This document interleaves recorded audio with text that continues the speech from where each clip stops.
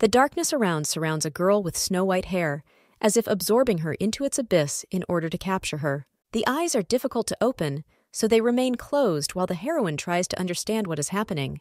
The fall down still doesn't end. I want to scream in order to appear and remain significant in order to wake up again. Not even a few minutes pass before the beauty suddenly opens her eyes. Horror itself envelops the body because of what is happening around. Attention automatically switches to the legs, which are connected to each other. There is a stone hanging on them, which pulls them deeper and deeper to the bottom. Attempts to untie the rope are almost in vain. After a few minutes, it still happens. The beauty makes enough maneuvers, and the stone falls. Now salvation is very close. The air is running out, but the beauty is trying her best to swim up to get to land. Breaking out from under a thick layer of water that did not allow breathing, the girl begins to gasp for air, realizing that she almost died. The lake seems darker than the sky at night due to its depth, but this no longer matters, because the blonde crawls onto the ground nearby, which seems to be the very salvation. Looking back, the girl notices something. She doesn't want to take risks again, so she's not going to look at the surface of the water, but she's pulled to the side, Carefully sitting down on the very edge of the shore, the girl looks at her reflection. A beautiful middle aged girl with snow white hair and blue eyes looks back in surprise. Thoughts about everything around do not come immediately, just like awareness itself. The girl asks herself a quiet question because she doesn't know who is in front of her. A man, a woodcutter passing by, stops for just a few minutes and looks at the lady. He states the fact that the lady is wet to the skin. Just about to leave, the guy warns the blonde that she shouldn't stay here for a long time, because it may be unsafe. The beast from Claude's castle starts hunting after sunset, so if you don't get away from the lake, he will catch the girl and eat her without even blinking. Only now the beauty realized that she was next to a lake, near which on the other side there was a castle, which was reflected on the water. The gaze switches to the turrets, which are visible in an even formation in the distance, along with the snow white beast that stands on top. The woman looks at the animal in shock as the man reminds her that she has at least two more years. Next, the young man says the girl's name. Amelie turns around in surprise, not understanding where she has already heard this. The old man chuckles. He doesn't believe that the maiden could even forget her own name, so it doesn't mean anything to him. Jumping up from her seat, the blonde runs up to the man. She asks what the two years statement that was said means. The old man sighs heavily. He looks sadly at the lady, who obviously still cannot accept the obvious. All people with silver hair eventually fall prey to the beast from the castle. The lady won't be able to escape because she will simply be eaten. The beauty repeats to herself in disbelief what she just heard. The guy interrupts her muttering, asking her to go home because it's starting to get dark outside. What happened definitely means something, but it becomes obvious that no one will answer such a question. The name of the Virgin also raises many questions. A blurry, vague memory from a past life appears in my head. The brunette with short hair decided to take an important step, so the memories showed her lying on the floor. I couldn't remember anything else, because my thoughts seem to be swallowed up by fog.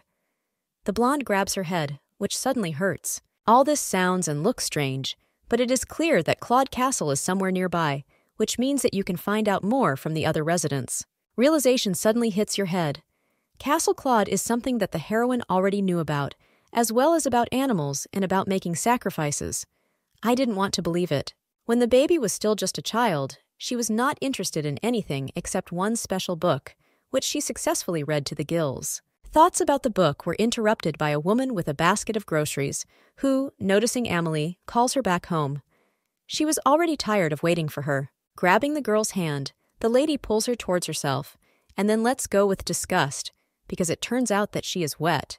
The girls move forward along the path towards a huge house in which bright lights are shining in almost all the windows, meaning that someone is there. Laughing uncertainly, the blonde quietly asks if it is true that she works here, to which the woman, frowning, replies that they live in this house. Sighing, the lady makes the girl go change clothes.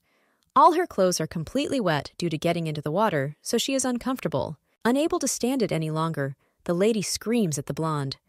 She asks her not to fool her, although she never expected anything more than this from the dregs of society. Approaching some kind of closet that looks like a barn, the woman points to the door. Here you can change your wet clothes into something more suitable. Then, without further ado, the lady pushes the girl in the back, as if hinting that she needs to be much more agile in terms of movements. Entering the room, the lady discovered that there was absolutely nothing inside that could be mistaken for new clothes. There's a piece of paper on the table as the only reminder. Grabbing a piece of paper, the beauty carefully examines it, but is not immediately able to understand what exactly she is talking about. A will was written on a piece of paper, which did not say much, because the girl at such a young age did not have much to leave. If you think about it this way, at the beginning of the whole story, Amelie had a stone tied to her foot, which means that she was the one who wanted to end everything in exactly this way. The blonde can't believe that all this was true. This is the second life in which things almost end in this way. She squeezes the paper forcefully in her hands. Attention is drawn to silver hair, which flows in light waves straight down the body. Virgo carefully examines the beautiful color. The words that were said by the man near the lake can't get out of my head. Everyone with blonde hair eventually becomes a victim. Thoughts are transferred to a book that used to be a favorite. It was like a reminder of what happened. This only meant one thing the lady had been reborn. Now the heroine magically finds herself in the world of a fairy tale. It didn't seem like the worst thing, but the character's position did not suit the young lady because she would be sacrificed. There is complete silence in the castle, which is completely parallel to Amelie's room. Mr. Lionel is called by one of the servants, who distracted him from something.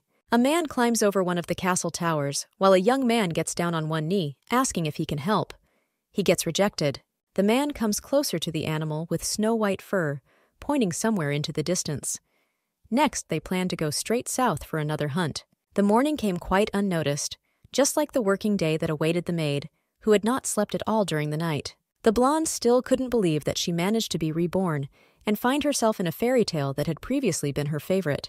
She tried to accept it, the worst thing was that, serving as a constant reminder, the beauty knew that the girl in the body she found herself in would die very soon. Passing by one of the panoramic windows, the beauty looks at her reflection, which seems to beckon her to come closer and look back. If you think about it this way, the girl in the story was incredibly beautiful, which of course gave her a lot of privileges that turned out to be useful. The snow white hair was also wonderful, but it turned out that the others didn't think so at all, judging by the reaction of others. For some reason, the servants who always surrounded the beauty treated her arrogantly and constantly, whispered behind her back, which was incredibly annoying. The head maid, who noticed Amelie looking at the glass, shouts at her back to stop shirking her work. This arrangement of things did not suit her. Quietly saying something in your ear, the lady clarifies the situation. Lady Lenoa, who just went out onto the balcony to get some fresh air, is looking at them. Lady Lenoa was Amelie's younger sister, a girl with beautiful wheat hair that seemed to glow in the sun, just like her smile. Although these two heroines were sisters, they were never alike. They are too different, and this could never be taken away. The animal's future victims are treated in the most horrendous way possible, and this is what separated the two girls from each other. Emily was truly sorry, because although she was born into a noble family, she, of course, faced terrible discrimination. In addition to everything that happened, the maiden was also obliged to die very soon, because two years was not considered such a long time in such a matter. The Virgin did not want to die in this way, but the world remained too cruel. It seems that nothing will change even after some time. According to the plot of the book, there are ordinary people and animal like people in the world, who, of course, live in separate territories so as not to disturb others. The kingdom of humans is ruled by an established king. He was elected by the people at regular meetings, and he moved into the government. His name is Aurelian. At the end of the fairy tale, which the girl read as a child, the prince from the kingdom kills the animal, so humanity finally gets the opportunity to live normally. The name of the hero who saves everyone around is Lumiere. He was considered the best knight and swordsman, so he was able to easily kill the animal. The beast will be killed when Lumiere turns 20 years old. There is probably still a very long wait until that moment, however. Not knowing exactly how long, the lady decides to ask everything. Turning to one of the maids who is cleaning nearby, the lady asks her how old Prince Lumiere of the palace is now. The brunette answers mockingly, because such a question seems strange to her. He and Amelie are the same age, so he is 16 years old like her. The beauty freezes in horror. This is the number that is spinning in her head, which makes it clear that nothing else will help her, no matter how much she wants it. There are still four whole years left, which, as luck would have it, will drag on incredibly long and hard. At this rate, the virgin will die much faster and will not experience joy. Perhaps it was better for Amelie to really die than to know that essence and the future that ultimately awaits her after two years. Then, when the girl was sitting on the bank of the river, she noticed the same beast that was walking along the castle wall. She felt like they were looking at her. The girl didn't really want to become someone's food, given that now life was just beginning, because, as it turned out, the heroine was only 16 years old. A life that can no longer be saved turned out the way it turned out. The girl had no choice but to give up and wait for her fate in the future. There was only a simple chance that the blonde had not just been reborn in Amelie's body. Perhaps she could change fate and save an innocent man. If the young lady has a chance, she can try to resist the fate that will soon overtake her. She had no choice. From that very moment, the beauty began to think about how exactly she could change her fate, which seemed like something that was impossible to change under such circumstances. So far, the only thing that could save the girl was Prince Lumiere, who would kill that very beast in the future, which would not come soon. Only this legendary man will be able to kill the beast, which at the moment is still hunting peaceful people who suit his taste. Nervous laughter bursts out of your chest on its own. The lady had no choice but to try her luck with Lumiere, who was still very young. The lady had no choice. She had to inspire the boy to do great things, even if she had no idea how exactly to do this. The blonde was not the main character who could do absolutely everything. She is a minor character with little potential. It seems that the book did not say anything about her, so it became clear that the situation was dire. The lady did not even have the opportunity to talk to the prince. Attention is drawn to the sister, who, peacefully reading, is on the balcony very close to the heroine, who is thinking about salvation. Lenoa's younger sister is a real aristocrat.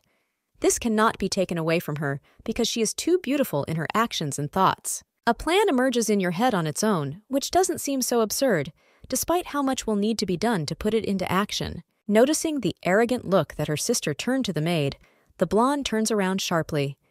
She is not sure if they will be able to start any kind of conversation. My thoughts are interrupted by the main maid, who shouts something from afar. It becomes clear that she is talking about lunch, so the girl puts off all her business. While in the dining room, the blonde sits down and carefully straightens her hair as she accepts the food that is being served to her. She takes a bite of a loaf of bread. Realization comes faster than a comet because the bread turned out to be completely stale. The maid almost broke all her teeth. No one even pays attention to the girl's attempts to bite off the bread because the maids are discussing Lenoa's coming out into the world. It was in that year that the first show was supposed to happen, but they didn't worry about it because the girl was a beauty. A bunch of suitors also ran after her. One of the girls sighs heavily. Sometimes she was jealous because she also wanted to receive some of the love that was given to others. Another maid laughs lightly, saying that she has no relationships with men, but they are excellent with money. Words about love gave the heroine a hint. She remembered that the prince was always in love with someone, but never mentioned who exactly. The book only said that the young man fell in love at the age of 15 with the daughter of an aristocrat, whom he met in the forest quite by accident on the way home. The couple met before the night of the full moon, which already made it clear what exactly this would lead to in the end. Lumiere was head over heels in love with his new chosen one, because over time it began to gain new momentum. Love at first sight seemed wonderful. The man spent almost all his free time with the blonde, which made it clear how much he appreciated her. All this meant was that if the lady went into the forest on the night of the full moon, she would most likely be able to meet the prince who would be there. The girl's thoughts are interrupted by her friends, who easily ask why she froze and stopped talking or even listening to others. Smiling lightly, the blonde asks for forgiveness for her carelessness. She did not want to bother anyone with her thoughtfulness, which was not inherent in her. The plan that appeared in my head seemed absurd, but it was not worth abandoning. The lady simply had no other choice. If the maid did not act as she intended, she would end up with even more problems than she had before. Very soon, the girl realized how naive she was. Having tried to get to the meeting place, the lady very much regretted it. In the forest, the girl met the guards, who, in addition to all this, only interfered with the plan, which itself would have failed even without them. This all happened for a reason, but because Lumiere had long been in love with someone else. He chose another lady who became everything to him. This person was Lenoa, who was the heroine's younger sister. This turn of events seemed the most unexpected of all. Instead of thinking about her sister's future, the princess did not even offer a helping hand, hiding behind the prince, who ordered the girl to be taken away. The guards grabbed the lady by the arms and dragged her away. Everything was destroyed, which meant there was no point in it at all. The meetings of the couple in the book were carefully planned, so they had to remain secret, but in the end, this did not achieve anything, because each of them was planned.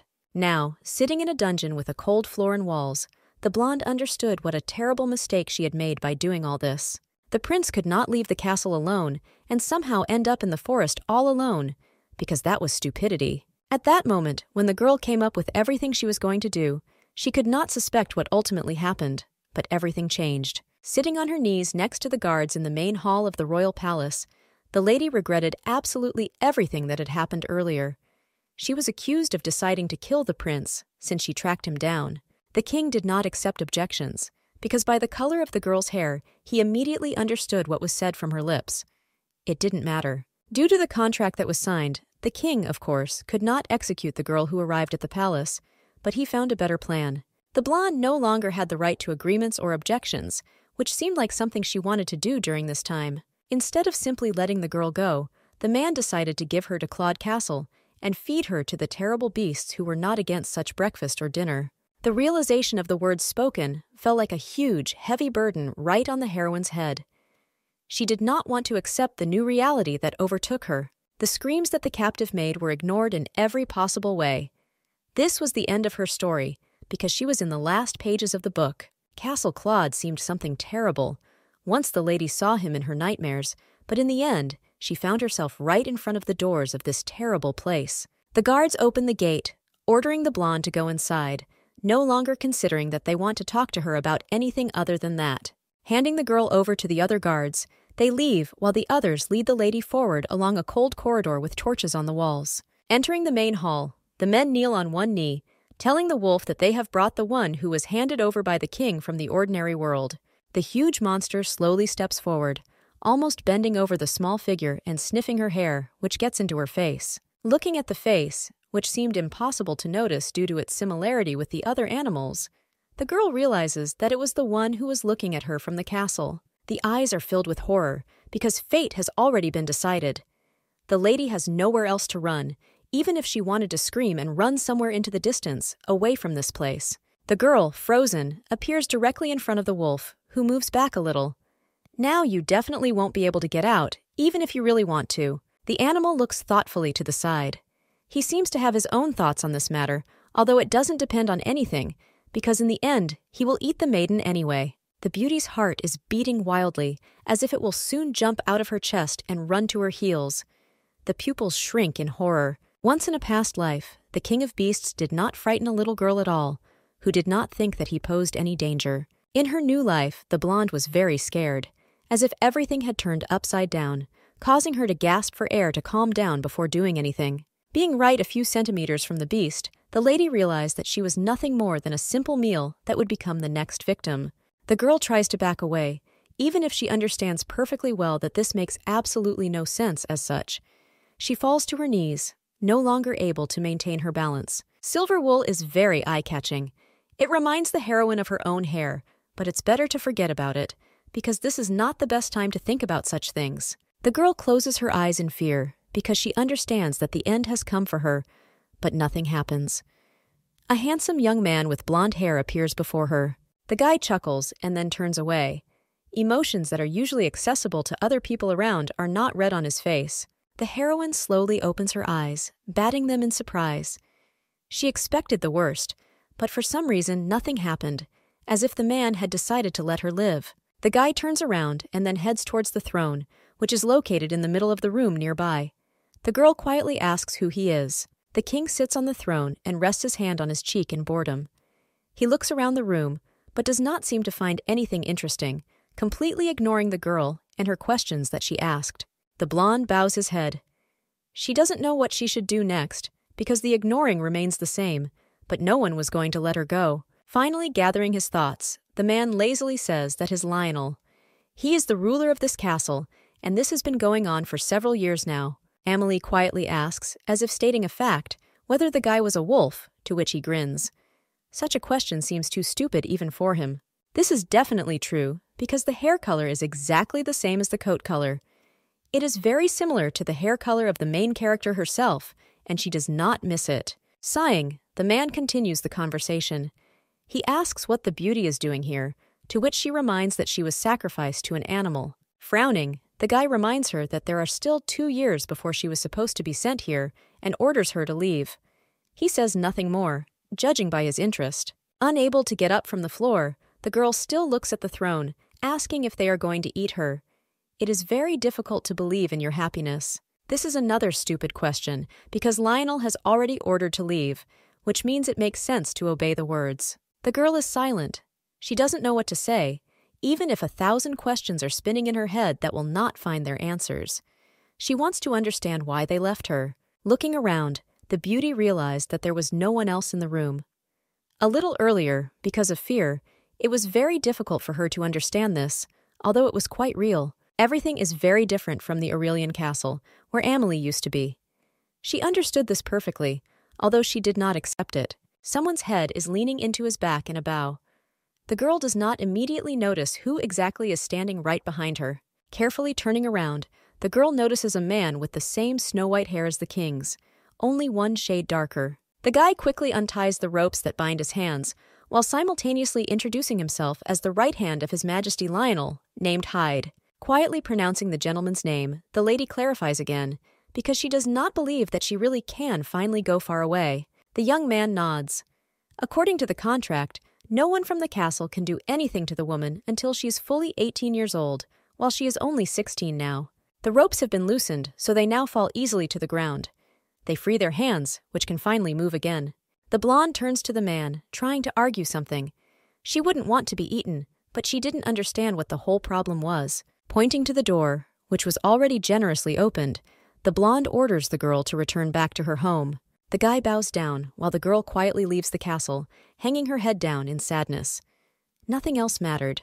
The door slams behind the lady's back, and the heroine herself walks further along the bridge, which leads into the distance into the forest, from which you can easily exit to the estate. Although they said in the castle that you could leave and live a quiet life for at least two more years, this was impossible because of what happened earlier. There was no way back, because it was cut short by actions that were taken specifically by the heroine.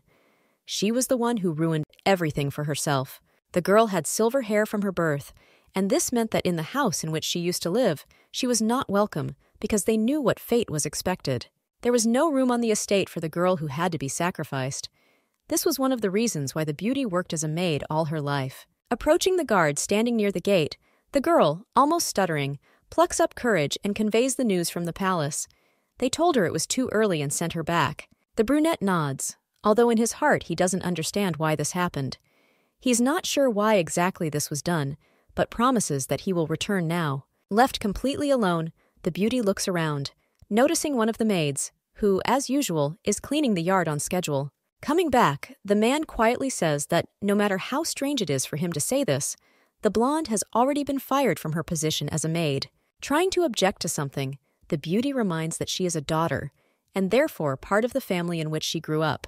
The pitiful attempts are cut short, because the young man again repeats that he is very sorry, even if this is not at all noticeable from his facial expression. The girl understands that all this is pointless.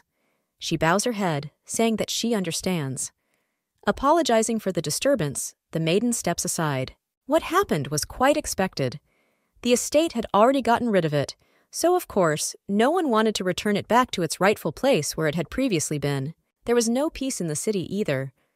She had to cover her hair with cloth because people around were whispering about how much the girl looked like wolves. Passing by one of the doors, the girl notices that a job advertisement has been posted on it. It was a bakery where there was a chance to get a job. Knocking on wood, the blonde carefully enters the doorway, greeting the baker, who, as usual, is laying out bread for morning delivery. The man smiles welcomingly, but then notices the hair color peeking out from under his hood. He states the fact that the lady has silver hair that stands out. Almost pushing the beauty out onto the street, the guy shouts after her, telling her not to come even a meter closer to him and his bakery. In the next store, but this time for clothes, a similar situation occurred. The woman refused, reminding that even if she accepted the worker, she would scare away all the clients. Another store also ended up somewhere behind because the man rudely refused, reminding him that he was not a fool to agree to such a thing. No one was going to hire a criminal, given the fact that this hair color was considered something forbidden for those who existed. At the end of the day, the lady concluded that there was no place for her anywhere that she would not go and where she would not try. No one wanted to give her shelter or help. Everyone around considered the girl a victim, which she would very soon become or a criminal, even without any explanation. There was no happy ending to a fairy tale like this for someone like her. Even if she saw a happy ending as a child, it was only for the prince and his princess. Prince Lenoa will be the ones who will live happily together. They will pretend that they care very much about the people, while this will not be entirely true. No one will care about the rest. While chaos is happening in the kingdom, no one pays attention because they cannot change the essence of the wolves or themselves. Lenoa and Lumiere are no comparison because they allow innocent people to die or wander without the right to a normal life like theirs.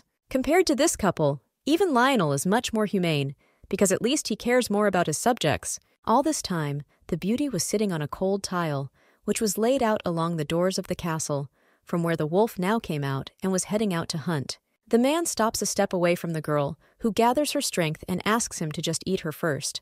The people around hardly care. It is not so important if the animal breaks the terms of the contract and does it two years earlier. Nothing will change at all anyway. The girl lowers her head to her knees, trying not to cry. She really has absolutely nowhere to go, even if she wanted to do so. The girl will not be able to wait two years, because if she is not eaten now, then she will end up in some ditch without any means of subsistence. The animal quietly comes closer without saying a word.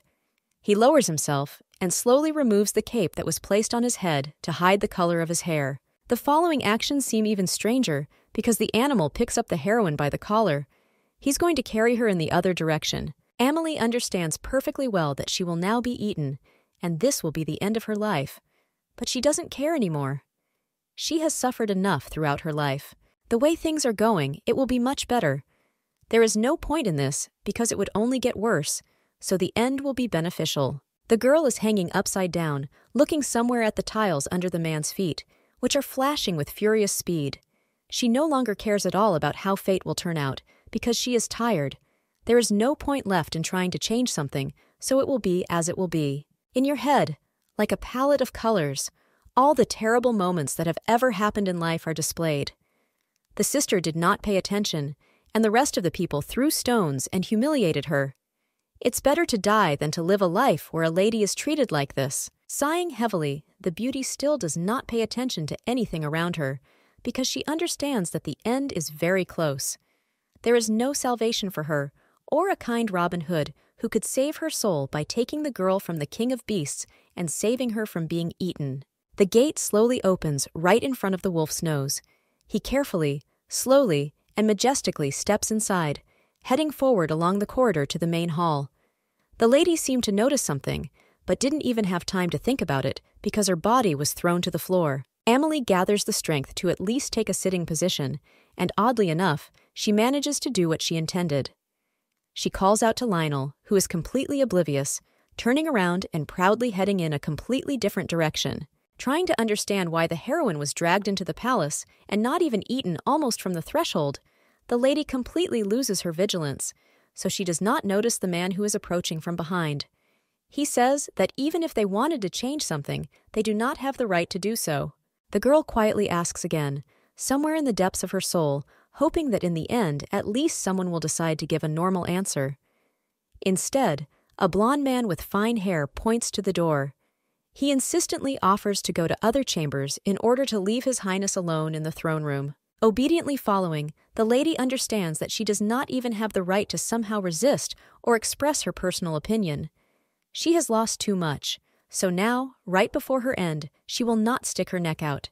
She would like to know where they are taking her, Perhaps the place where the main character was taken was a prison cell, which was located somewhere on one of the floors. This would be quite logical, given that the beauty was a captive and a victim, namely one who would be eaten very soon, without any regrets. The road to the new apartment did not last very long. The man led the lady further down the corridor, and they stopped near one of the oak doors.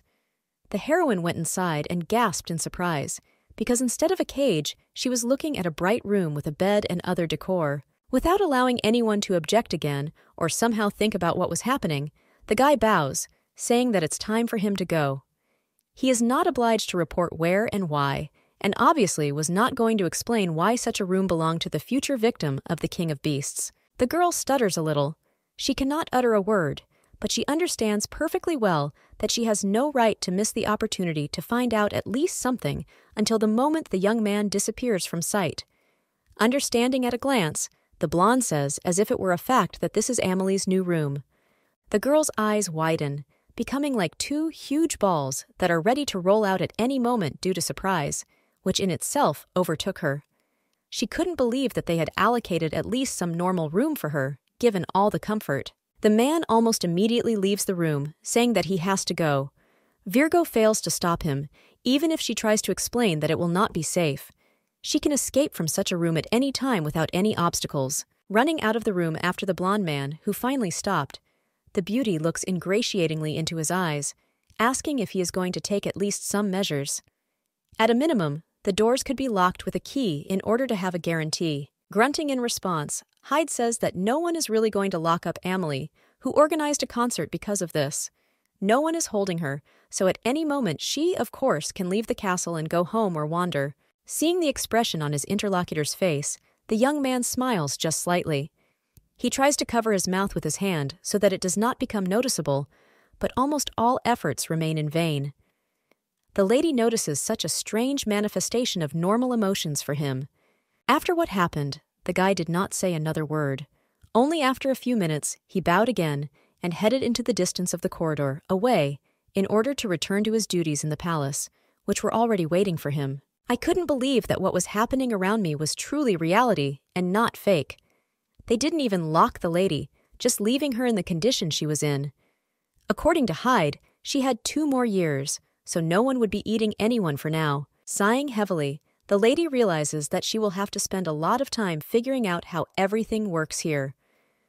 Leaning back on the soft bed, the blonde, gritting her teeth, still admits that she has a rather beautiful room that seems pleasant to live in. The gaze darted towards the chest of drawers standing next to the bed. There's some kind of package lying there, which makes it clear that there is still a change of clothes on the chest of drawers that you can change into at night. You cannot sleep in street clothes in a clean bed. The girl didn't want to admit it to herself, but in the end, she did it, because this room was more comfortable than her home. A smile of bliss spreads across the pale face, even despite the unpleasant memories that strive to creep into consciousness. Everything around was not so important. If the lady were put in a dungeon, she would almost not care, because in the end, everyone knows the fate that is reserved for people with silver colored blonde hair. The beauty will be eaten, so the end cannot be avoided. Morning came completely unnoticed. The lady did not immediately realize that the time of day had changed, but light rays of the morning sun began to break through the curtains. Rubbing her eyes, the beauty realizes in surprise that she didn't even notice how she fell asleep. Memories of yesterday were spinning in my head like a record that had stuck so no one could replace it. The blonde couldn't believe that after she couldn't find shelter and didn't know where to go, she was accepted into the palace. The Castle of Wolves is a specific place, but for some reason, in one day, it began to seem more comfortable.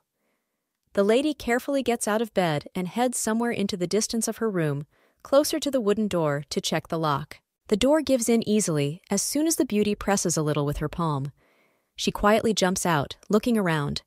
Hyde's words were true, because there really wouldn't have been a soul to guard outside. In the distance of the corridor, several maids with the same beautiful white hair could be seen. They were chatting about something, but when they noticed the guest, they turned away from their conversations, turning to the side to examine the one who had slipped out. Memories of what happened on the streets flashed through my head. People and servants in the castle usually reacted negatively to such hair, so, of course, they did not miss the opportunity to mock or laugh right in the face of the young heroine, which she could not stand. Sadly lowering her head, the blonde turns around in order to leave as quickly as possible and not hear any further reproaches in her direction. Already going into the distance, the girl hears the voice of a maid who says, Good morning.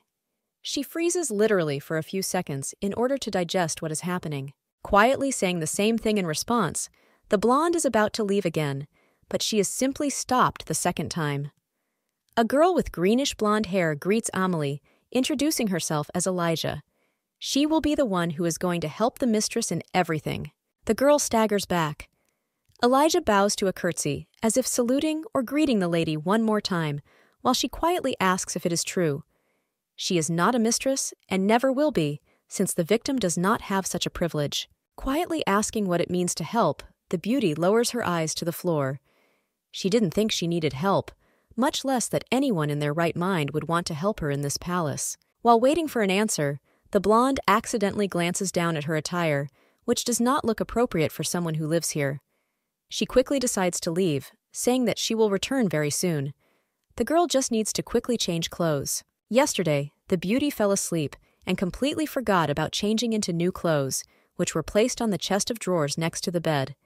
Just about to leave the room, the maiden was stopped by Elijah, who grabbed her hand. She pulls the heroine forward with her. Without ceremony with the new mistress, the blonde sits her down on a chair near the table with a mirror. The girl lets out a quiet cry from surprise and from the speed of actions that are happening around her. She doesn't seem too confident in what she's doing. The door of one of the dresser cabinets opens, revealing several necessary hairstyle tools. One of them turns out to be a mini mirror, as well as a comb and a toothed comb for detangling the hair on the top of the head, where it has become matted after sleep. Getting to work, the woman takes one of the combs and carefully begins to comb her hair along the entire length. They are soft and easy to give in, so nothing will affect it. The girl sits quietly for several minutes and then turns towards Ilya, who, still undistracted, continues to do what they started with. Not knowing how to find words, the beauty asks why the maiden is courting her, as if she were not a captive in their palace, but a mistress. The girl again reminds that she is just a victim who has only two years left. There is still no answer because Ilya continues to silently comb his hair. Amelie turns back to the mirror she is looking at. The maid straightens the strands after she has set aside the necessary items. She thoughtfully looks at the beautiful color of her hair, which, like silver, casts the light of the sun. After a while, the blonde quietly says only that the lady has beautiful hair, which everyone around could envy. Looking up from looking at the reflection in the mirror, the girl asks again because she cannot believe what she just heard. The heroine does not quite understand this behavior in a girl who, it seemed, should have behaved completely differently. She gets up from her seat, moving back a little, while asking what this performance is about. Beauty is nothing more than food for the king of beasts, so she should not be treated in such a way. What was said seems strange, so Elijah quietly agrees.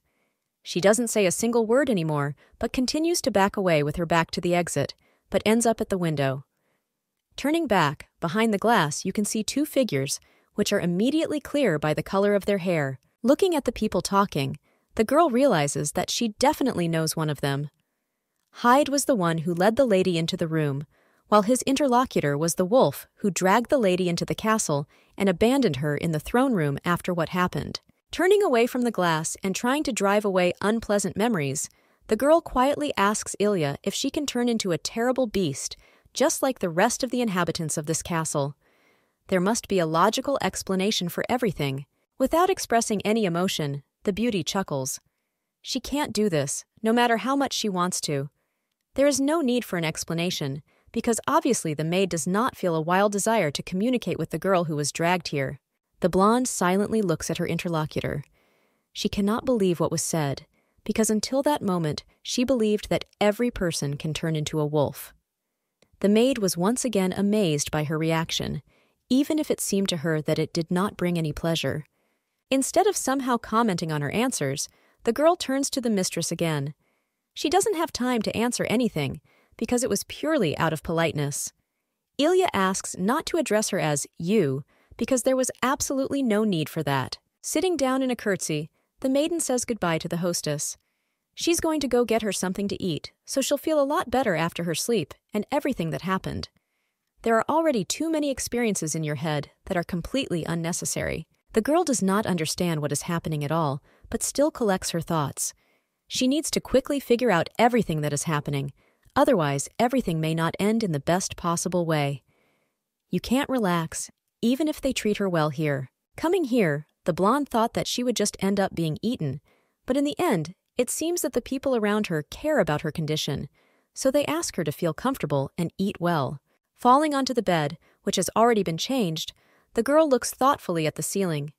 She cannot understand why she should be taken care of so well if in the end the outcome will be predetermined literally in two years, and after death she can be forgotten like a bad dream. It was unpleasant to realize, but the heroine could not even ask someone about what was happening. She understood that the questions continued to accumulate, thereby forming an unbearable burden that would over time crush Amelie with its weight.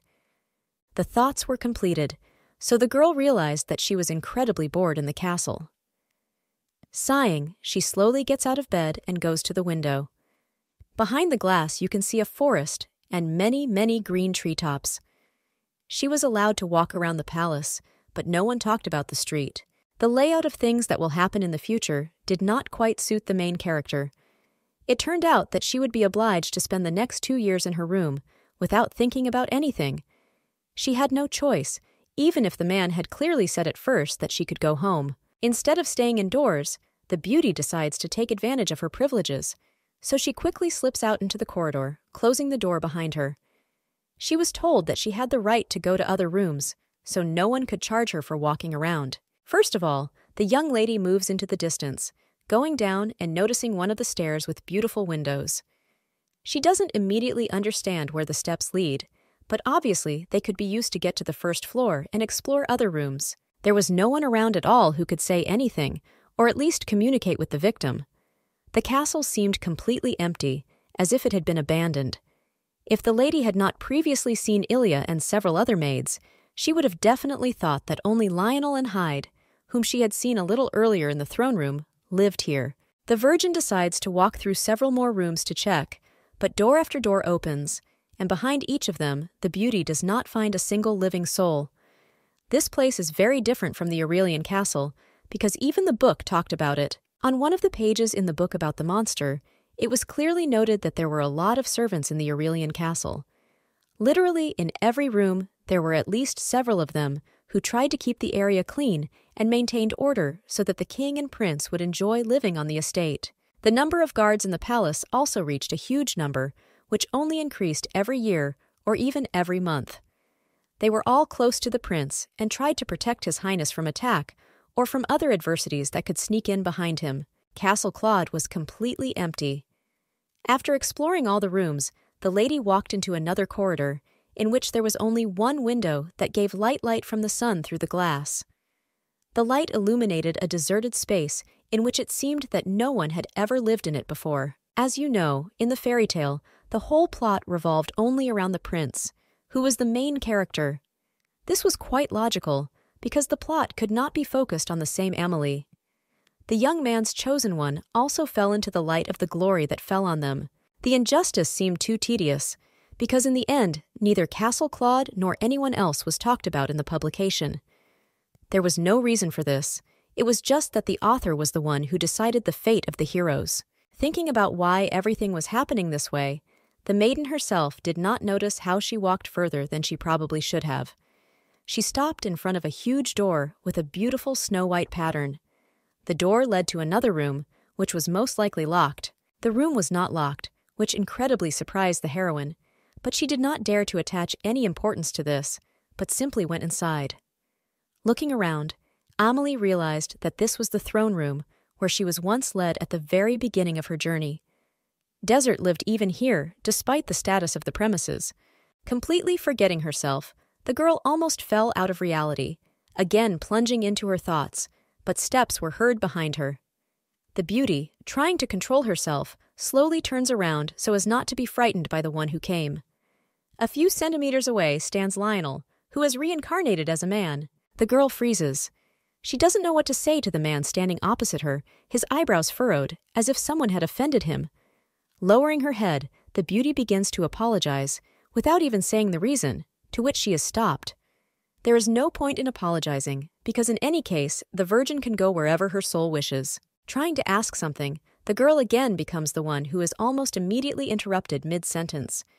She can truly go wherever her heart desires, regardless of what others tell her. If the lady wants to leave, the door will always be open, only if the victim returns to Claude two years later. The girl continues to remain silent, so the king, drawing his conclusions, turns around and slowly heads out. Deciding to clarify the situation, the blonde quietly asks where the guards and guards are and why the castle is completely empty. It is not entirely within the power of a king of such status to behave properly. The man still looks angrily, as if he doesn't care what they say about him. He only reminds that he is quite powerful, and therefore does not need any kind of security that could protect him. He himself would have to protect even the guards. The girl nods, noting that it was a rather simple and short answer, which made sense, no matter what. The guy again tries to leave, while the beauty looks after him, thinking about how strange it was that the king spoke to the victim. Realizing that the chance is almost gone, the heroine abruptly stops the young man, who has almost left the room in which they were. Opportunities need to be used correctly, so the beauty is going to explore the surroundings of the castle and everything around in general in order to better study the territory in which she now lives. The answer is once again deathly silence. Lionel stopped, not intending to go anywhere, but did not say a word. The blonde couldn't help but admit that it scared her a little, so it felt like her heart would jump out of her chest very soon, despite the fact that there were problems with this. Instead of saying anything or finally leaving, the blonde comes even closer and then carefully leans right over the girl, who does not understand what is happening. He reaches for your neck, opening his mouth to lightly bite the soft skin, leaving his scent around. Of course, I didn't want to tolerate this, so the blonde sharply pushes the man away, trying to avoid at least some contact that might follow. If the king was against what the maiden suggested, he could have simply said that he did not like it, instead of acting strangely, once again. Still silent, the young man turns around and heads out again. Only almost at the door does the boy say that the victim can do whatever her soul wants.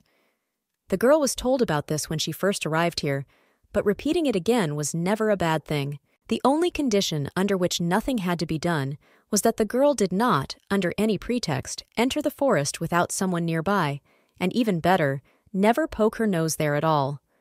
The blonde is left completely alone in the room, realizing only that she does not understand anything at all. The morning continued to drag on, as if endlessly, while Amelie finally decided to take an important step regarding the walk. Everything around was new due to the fact that the girl had, accordingly, never been to Castle Claude, about which nothing was said. She goes down the steps to the street, then the lady follows straight ahead, but notices the guards, of whom there were only two.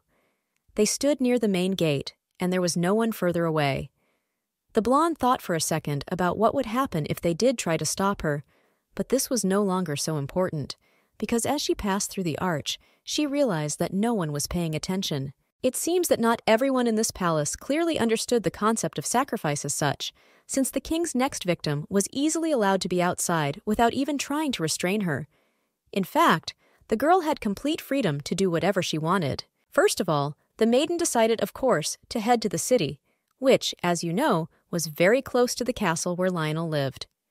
Going down the path, the beauty passes onto one of the main streets. For some reason, Amelie used to think that there would be people wandering around everywhere, turning into animals and living like those who do not know about civilization. But now, following the streets, she changed her mind. It seemed that everything around was not much different from the village near Aurelian. Still, there was a slight difference. The girl felt simply wonderful surrounded by people here, especially since she now gained a sense of security. She no longer cared how exactly everything happened, because life had completely changed. The smile itself appears on the face of the main character. She couldn't wait to finally explore everyone and everything around her, so now she proudly walked into the distance, looking around at the counters with different goodies and things. Another difference was that the beauty did not stand out too much among the people around, even if earlier in her city they almost always looked at her askance and shouted because of the beautiful silver hair that she had been growing for so long. The situation around seemed relatively calm, despite the fact that everything still seemed unusual. The stalls with flowers, of which there were simply a sea, looked the cutest and most beautiful compared to the others. Passing by, the girl managed to change her mind a hundred times. People around were whispering, being right behind the beauty, who calmly did not pay attention. They noticed the rarity of such white hair and how much she looked like the king. Still, Amelie was too young and naive, so she had to be disappointed very soon. People were unable to calm down, even if receiving compliments was much nicer. Most of those present simply talked about how beautiful the girl's hair was. Finally, the city bustle is over, in order to finally achieve at least some kind of peace, the beauty almost had to escape and get out into a clearing, which was located very close to the rest of the trees that led into the forest. The Virgin was incredibly tired, so she bent over in half, looking somewhere at the ground. Perhaps she was not mistaken, and there was still some difference between humans and beastmen, because, judging by what was happening, it was becoming quite noticeable even to the naked eye. Wherever Amelie went, she still stood out terribly, no matter how hard she tried to hide her hair and everything else that belonged only to her. She looked around in horror, realizing that she had gone too far, so she was not sure whether she could find her way back. Turning in the other direction, the blonde looked somewhere into the distance. The path, lined with sand so that one could understand where to go, led somewhere deep into many trees, because of the crowns of which it was impossible to see absolutely nothing. The girl admitted to herself that she was even a little tired. The day seemed too long and terribly tiring. She wasn't prepared for how they treated her again, so she decided to break the ban and go to a place where she could get some rest from the others. Memories of Lionel immediately surfaced in her head, who made it clear that she could go anywhere except into the forest. He didn't explain what exactly was wrong or why she was prohibited from entering these areas, but the expression on his face seemed convincing. In fact, the heroine almost believed the words, so she was going to listen to them, but in the end, it was said by the one who was going to eat the victim in two years, especially since he shouldn't have cared. This was not relevant to the present case. My thoughts were interrupted by rustling sounds from the trees, as well as someone's breathing, which sounded more than terrifying.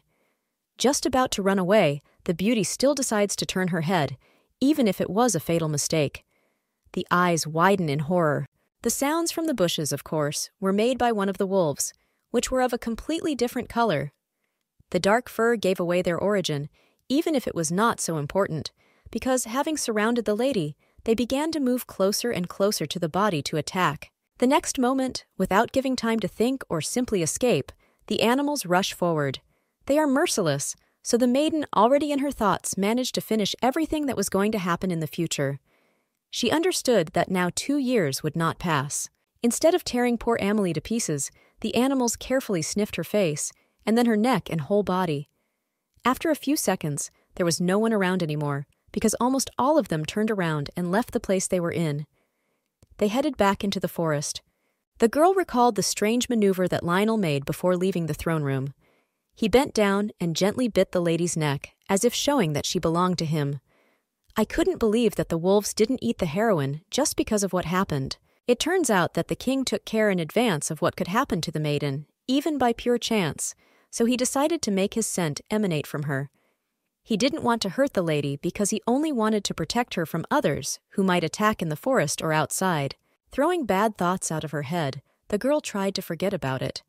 What she was thinking seemed completely absurd, despite the reality of what was happening. Most likely, the man marked the woman simply as his food, because he wanted to get her body in two years. The heroine thought too deeply, completely drowning in her thoughts, that she did not even notice the shadow and the beast, which quietly approached from behind, as if wanting to do something. Its color was completely different, so it was very different, because from the angle of the light, the door seemed blue with white splashes. There was no point in running, but attempts could not be wasted just like that, without even any chance. The girl rushes forward, hoping that she will be able to hide, but with one slight movement, the wolf grabs the girl by the collar of her clothes, lifting her into the air so that there is no way to fall to the ground. It turned out to be really dangerous in the forest, so the blonde managed to regret what happened and her decision a million times. She just wanted to return to the castle, because at this rate she could easily be eaten by wild animals, who were going to do this very soon. Bringing the girl to some dark cave, the animal throws her onto the cold ground. Sitting down on her knees and cowering in fear, the heroine slowly examines the place where she ended up by pure chance. She didn't know what the point was in saying anything, since no one would understand, but she still asked where she was. Only after a while did the blonde notice that behind the light colored wolf there were a lot of light eyes that looked out from the darkness. They glow, as if foreshadowing something bad, so it was not difficult for the heroine to understand that the end had come for her. There was no point in denying it anymore. Instead of feeling pain, the lady heard words that were imprinted on the subcortex of consciousness. Slowly opening her eyes, the beauty no longer sees a wolf, but a young man with light blonde hair who asked the maiden if she was the victim. Noticing the surprise that was imprinted on the young face, the blonde asks the same question again and then asks if the heroine escaped from the castle. He seems insightful because he immediately understands what is what and asks questions only as those that do not require any answer. Trying to understand or ask how the guy found out about such details, The girl does not find the right words, so the interlocutor himself finishes the sentence. It turned out that he, too, should have been sacrificed in the castle a long time ago. The girl asks what needs to be said, to which she is interrupted. The man asks to be addressed as you for complete comfort, and also notes the fact that he lived until he was 18 in Aurelian, where he was born with that hair color. His name sounded like Theo. Asking the obvious question, the beauty asks why the young man is still alive if he too was supposed to be the one to be devoured by the king of beasts. The answer turned out to be simpler than ever, because the blonde ran away from the palace in the same way as Amelie did this year. The guy really turned out to be exactly the same as the main character. He's about to tell a story, so he sits down on the cold ground so he can be on the same level as the girl. They were both born with silver hair. As it turned out, the young man was treated poorly from birth simply because of his hair color. The family never accepted him, and there were no friends either, because children were told from childhood that they should not communicate with such garbage in order to save themselves. The boy always wanted a normal life, so he cried in the utility room after seeing other children who were exactly like them, but for some reason could afford to live a normal life. He did not understand why he was born someone who was obliged to die as soon as he turned 18. Other kids his age simply took their good life for granted, which is completely normal. They didn't value what they had, but they didn't miss even a single opportunity to mock the blonde, who didn't understand what he did to deserve it. When the young man turned 18, he had no choice so he was taken to Claude Castle. The guards did not touch the body, but they also did not stand on ceremony, not allowing the guy to stop for a second or preventing him from trying to escape. They had a task that needed to be completed in the best possible way for praise. The young man did nothing to make it all end this way, but he understood perfectly well that he had no other choice. He had to pretend that everything was normal, as if they were not going to take him to certain death. No one in their right mind would want to put up with such manifestations. That is why the man decided to take the step that had been prepared in advance. When the guards had almost brought the hero to the gates of the palace castle, the man decided to finally act and not hesitate. He took a small knife from his back pocket, which was almost invisible due to its size. The next step was to try to escape. Untying his hands with the help of a gun, the guy jumped straight from the bridge even if in theory it was very high there. Other people might have thought that he lost his life immediately, but that was completely wrong because of the layout. Next to the bridge, there was a net that easily absorbed the hero, who managed to jump down in time. This helped slow his decline, which could have ended badly. The man understood that salvation was very close, and this made him incredibly happy. The boy planned his escape when he was a child. From childhood, he knew that he would have to become the one who would be eaten by the king from Castle Claude. So he began work at the age of eight, nine in order to have time to do everything in his power to make sure everything ended. First, the young man finished with the work that related to the grid. He tried to do this as quickly as possible, and preferably without prying eyes, so that no one would bother him. After that, he hid a small knife that could ideally cut the ropes on his hands, and then everything went according to his perfectly worked out plan. From the moment of his escape, the hero began to live in the forest. He had no choice, because returning to Aurelian was of course not an option, since he would have been sent back, or he would have continued to be bombarded with insults and work that was beyond the capabilities of even an, an adult. The girl did not understand how this happened. She quietly asks why they weren't looking for the guy, to which he looks away to the floor. They, of course, made attempts to catch him, but nothing worked until one day.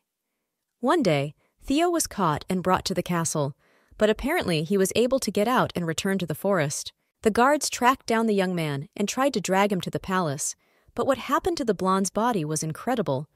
He was able to turn into a beast and then simply ran back. From that very moment, it was possible to control the transformations that occurred almost on an ongoing basis. This was most likely impossible, but obviously it was not true, because the young man continued to transform masterfully. He understood that this was a strange gift, which, of course, had to be used while the opportunity presented itself. Since this happened, the man has become more evil and powerful, so these transformations came with a huge privilege. They stopped trying to catch the wolf, and the whole castle seemed to have forgotten about its existence as such. It was only to his advantage. Now, after several years, the guy has several new comrades. He did not consider himself lonely because even before, when he had to live in the city with the Aurelian castle, he had no one who would want to talk to him. Life is almost getting better. The heroine's gaze switches to the same place where the blonde is looking. Several dark colored wolves are visible in the shadows, standing to the side. Judging by what has been said, none of them were real beastmen, because each of them could not transform, remaining only in the form in which they were at that moment. Apparently, Theo was the first and last to escape his fate. He escaped on the way to the castle where he was supposed to end, and now lives quietly in a separate place where he has been for many years. Everything seems to suit him. Still, the heroine realizes that she is incredibly sorry for the one who had such a terrible life, which he did not deserve at all. He wanted to get the best, but in the end, he was not in the best position. So the beauty asks if the guy needs any help that can be provided. Ignoring what the interlocutor asks, Theo says things that are obvious to him. Most likely, the lady also escaped from the castle in order to resist fate and stay alive. He persistently offers his help, because if they are together, then it will be much easier than alone. The girl doesn't know if she can trust the man she met just 20 minutes ago. He has many wolf friends who do not have human intelligence, so they can easily eat the heroine. All that remains is to reveal the truth, so the blonde quietly says that she has not yet become a victim because she's too young for this. There are still two years left until the official end of the girl comes. The second truth turned out to be even more striking because the beauty did not even intend to run away. She came here by pure chance and did not hope to meet Theo, planning to return back to the estate after the forest. Getting ready to say something else, the lady cannot find the right words.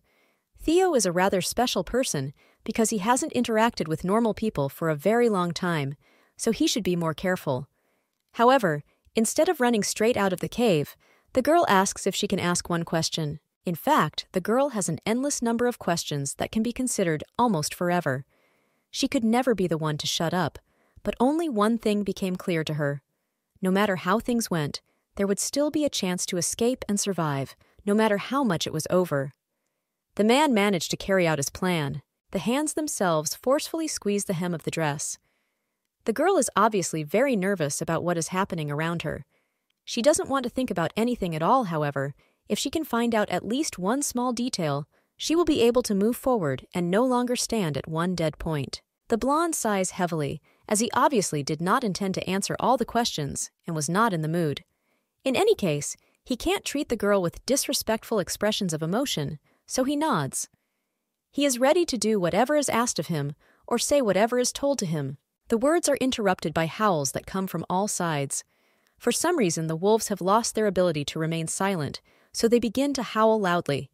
Loud noises make his ears pop, forcing Theo to turn around sharply in order to check the situation or understand what happened during this time. Turning back to the girl, the guy tries to calm her down and then goes back to the animals. Obviously, they very quickly discovered what Theo had been looking for for a long time. He is about to leave, but before leaving the cave, the blonde turns around, saying that if the lady ever wants to meet again, she can always do it without any problems. Virgo nods her head, still not understanding what is happening.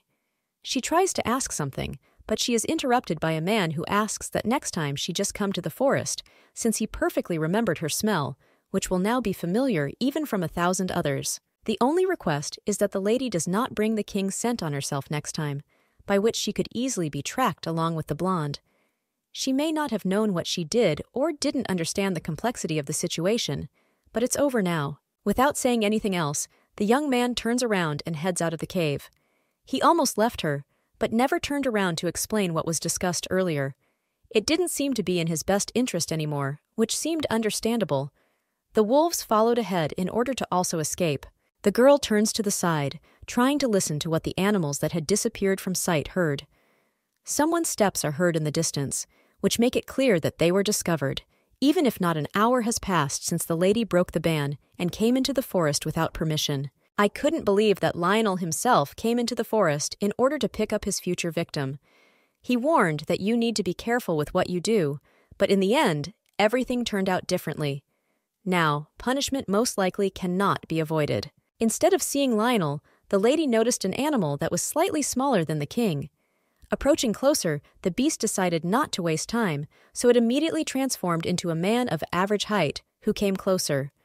Virgo quietly asks who he is, trying her best not to stutter too much so as not to ruin everything. The guy looked more like a little boy because of his friendly expression and huge dark eyes that showed how much he wanted to make friends. His name is Noah, and he talks about how nice it is to meet Amelie. The king sent the guy because he was a member of His Majesty's Knightly Guard.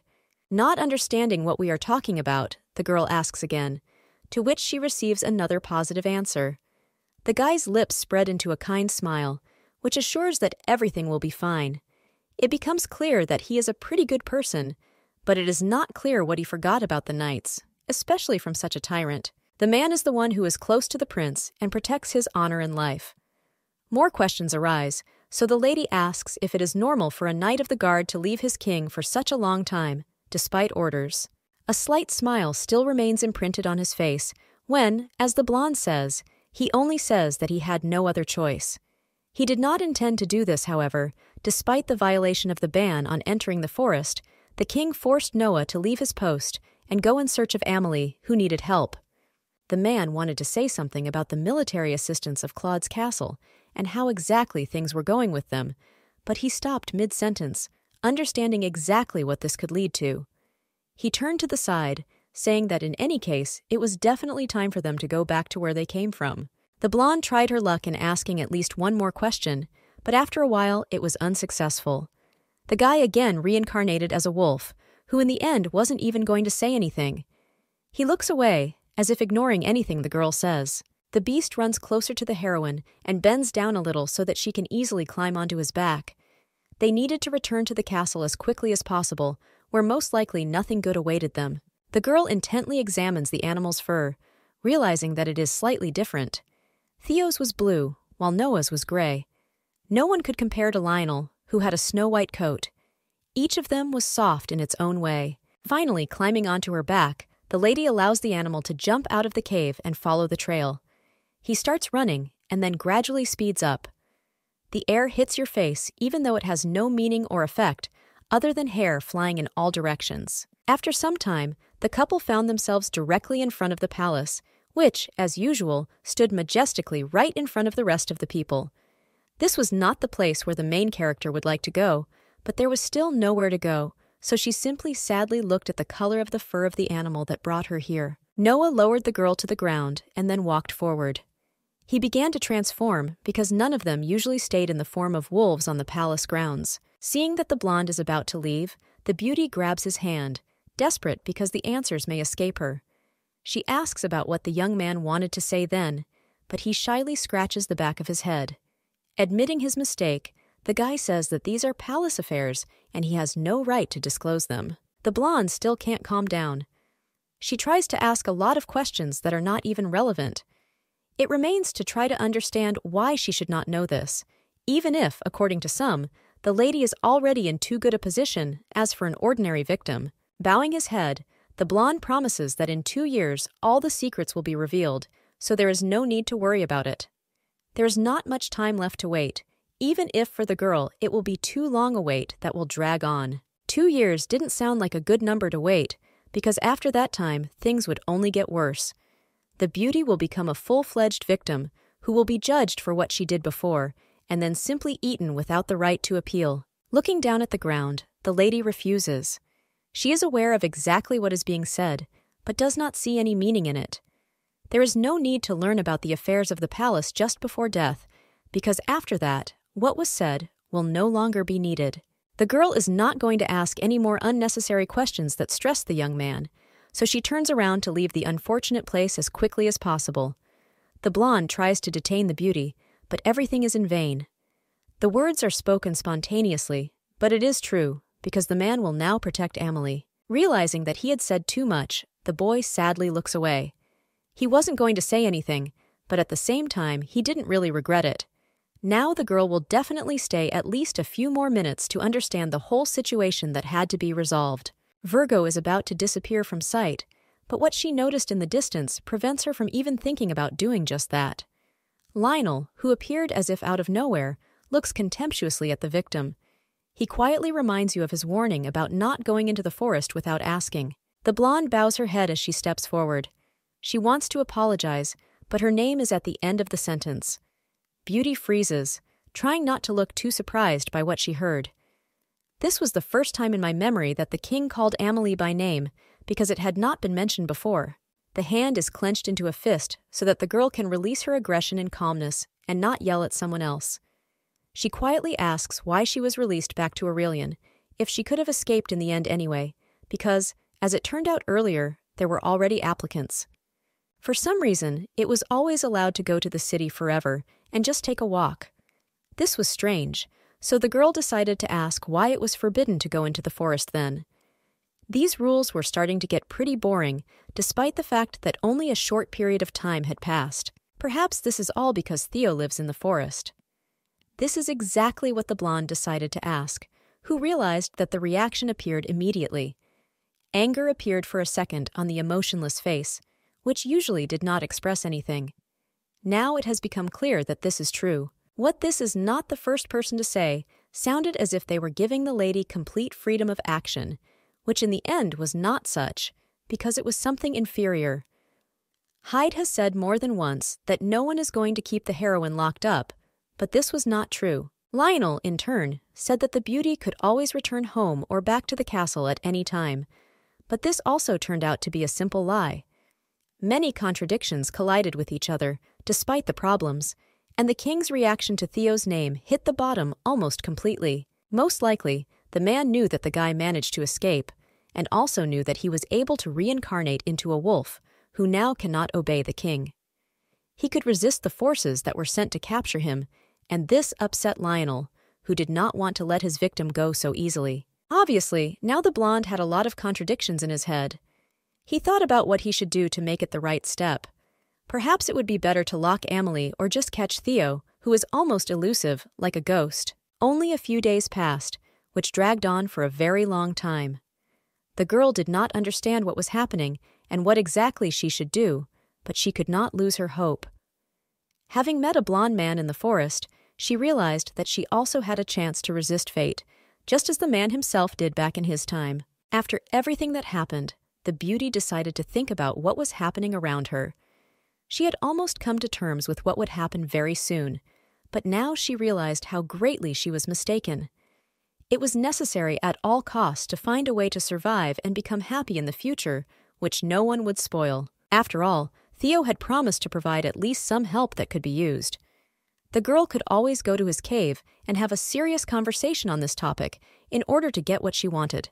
The idea of life in the forest was very different from the comfort that the beauty acquired in the castle. Theo ate mice, just like the other wolves, went hunting and slept on rocks. Such a life seemed terrible for someone who was used to living in an ordinary house, surrounded by people. Hands fall on the girl's head, who is incredibly nervous. She is well aware that she could not live such a life, because it was not for everyone. No other plan was given, but one could easily be found in order to obtain what was needed. Sighing heavily, the blonde leans back on the bed and then rolls over onto her stomach, burying herself in the pillow. She inhales the scent of a fresh bed, which was also incredibly soft despite the way it was set up. The castle treated its prisoners too well, even if it was just a trick. All the idle and thoughts are interrupted by the wind, which rages bottomlessly outside the windows. It can be heard from all directions, no matter how loud it is. It seems that someone has come, so, a little scared, the blonde jumps out the door, having previously looked up from what she was doing. Opening her chest of drawers, the beauty grabs a small knife that she managed to get her hands on. It was left just in case for self defense, so the heroine decided that now would be the best time to use this thing. The door slowly swings open, and a head with snow white hair pokes out into the corridor. The Virgin quietly calls out to Ilya, who usually immediately appeared in her field of vision, but she simply disappears and does not respond. Something has happened in the castle, and you can smell it several miles away. This unknown frightens Amelie madly. The staircase, which is located at the end of the corridor, seems to beckon the girl to quickly go down. She runs up the steps and freezes at the very last one because she notices Lionel. He stands as if all his strength had completely left him while trying to restrain himself. There are several arrows in the body from which scarlet smudges can be seen, which need to be bandaged. Noticing who has arrived, the wolf grins angrily and then begins to growl nonstop, as if something had happened. This is the king, and he is clearly seriously injured. The blonde does not understand how this happened, so she tries to carefully examine the body, paying attention to small details. The man was wounded, even if he did not want to show his pain. Amelie goes down the last steps, stepping carefully down, and stops next to the animal. The only answer is a loud growl that reverberates throughout the area. The heroine is racking her brains, but cannot understand what made the young man come to the castle in such a terrible state. For some reason, almost all her life, the lady thought that the king of beasts was so powerful that no one could match his power, which was something unusual. It turned out that even such a powerful person like him could suffer defeats. No one was really going to explain what kind of battle it was, or how exactly it happened, but it immediately becomes clear that the wounds are dangerous to health. The animal walks a few steps and then falls on its side, making terrible sounds. The girl is in a fog that envelops her consciousness.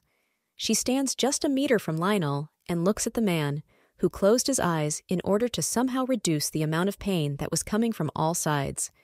If he dies, it will be a great opportunity for Amelie because she will be able to escape.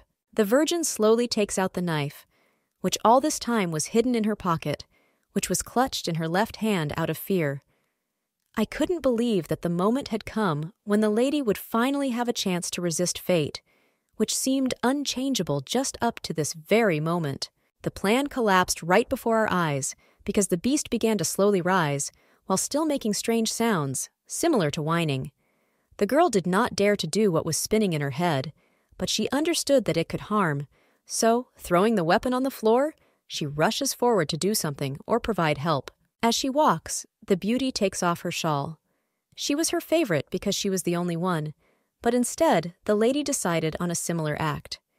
The blood that was constantly flowing from all the wounds had to be stopped before everything only got worse, completely changing the whole meaning. Instead of standing still and obeying, the young man simply heads forward, completely unwilling to stop and talk about what is happening. He didn't want anyone to help him, so he simply walked away into the distance, leaving the blonde standing all covered in dirt, completely alone in a dark corridor in which it was cold. The girl does not understand what she is thinking about, while, according to the plan, she was supposed to get rid of the king. Thoughts are interrupted by a male voice, the owner of which turns out to be Noah, who almost immediately rushes towards the mistress, slightly holding onto the shoulder, which was dislocated. The blonde smiles, trying to make the girl not worry about Lionel, but on top of all this, the beauty also notices Noah's hand, which was also wounded, which only worsened the whole situation. There were no more excuses, so the man admitted that they were having problems collecting silver hair. Virgo thoughtfully repeats the name that was just said. She had never heard anything like this before, which is why she was so surprised. It seemed like there was another clue that they wanted to change, because Noah started waving his hands, assuring him that there was nothing to worry about. It turned out that in remote regions in the city, others were bullying people with silver hair, which ultimately led to bad consequences. Virgo throws up her hands. This makes sense because it is customary to sacrifice people, and although not as common, in Aurelian, they are considered to bring bad luck. Noah was informed that cases of bullying and murder had become more frequent recently, so he, of course, went in search of those who did this in order to take away innocent residents. The campaign did not end well, because the guard was simply attacked, leaving not a single chance. Now it seemed to the man that all this was just to lure them into a trap. The guards and knights from the Aurelian castle were planning to attack, but could not do this on enemy territory, so they decided to take a similar step for themselves in order to set up a massacre. The girl hesitantly looks away, noticing how the boy opposite is nervous because he told everything that he clearly shouldn't. The strange thing was that the wolves were going to save people, even if in the future they were to be eaten by the king himself, who is now pretending to be good.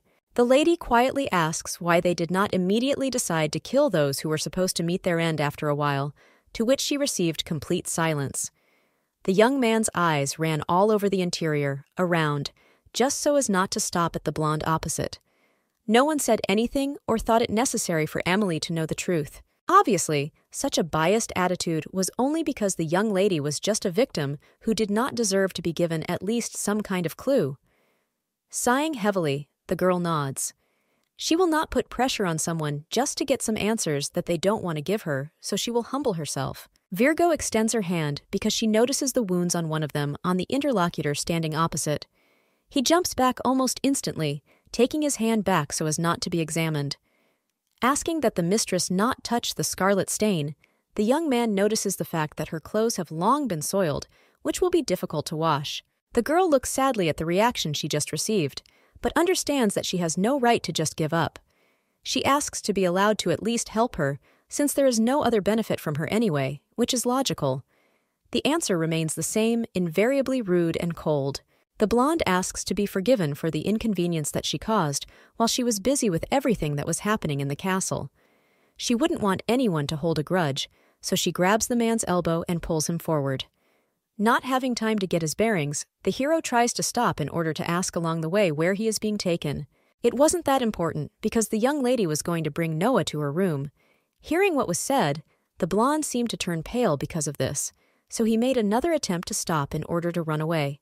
He quietly says that they should not do this. Noticing surprise and a new wave of disappointment on the young lady's face, the guy hurries to quickly correct himself because he does not want to offend anyone.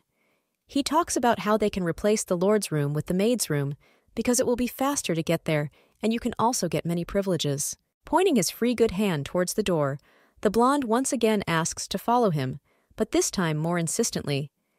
There is everything needed there, which of course is not in Amelie's room, which was never ready to do anything to help the many wounded soldiers. The girl lowers her head. She agrees to do as she is asked, but still does not understand why the king suddenly showed kindness as if it came out of nowhere.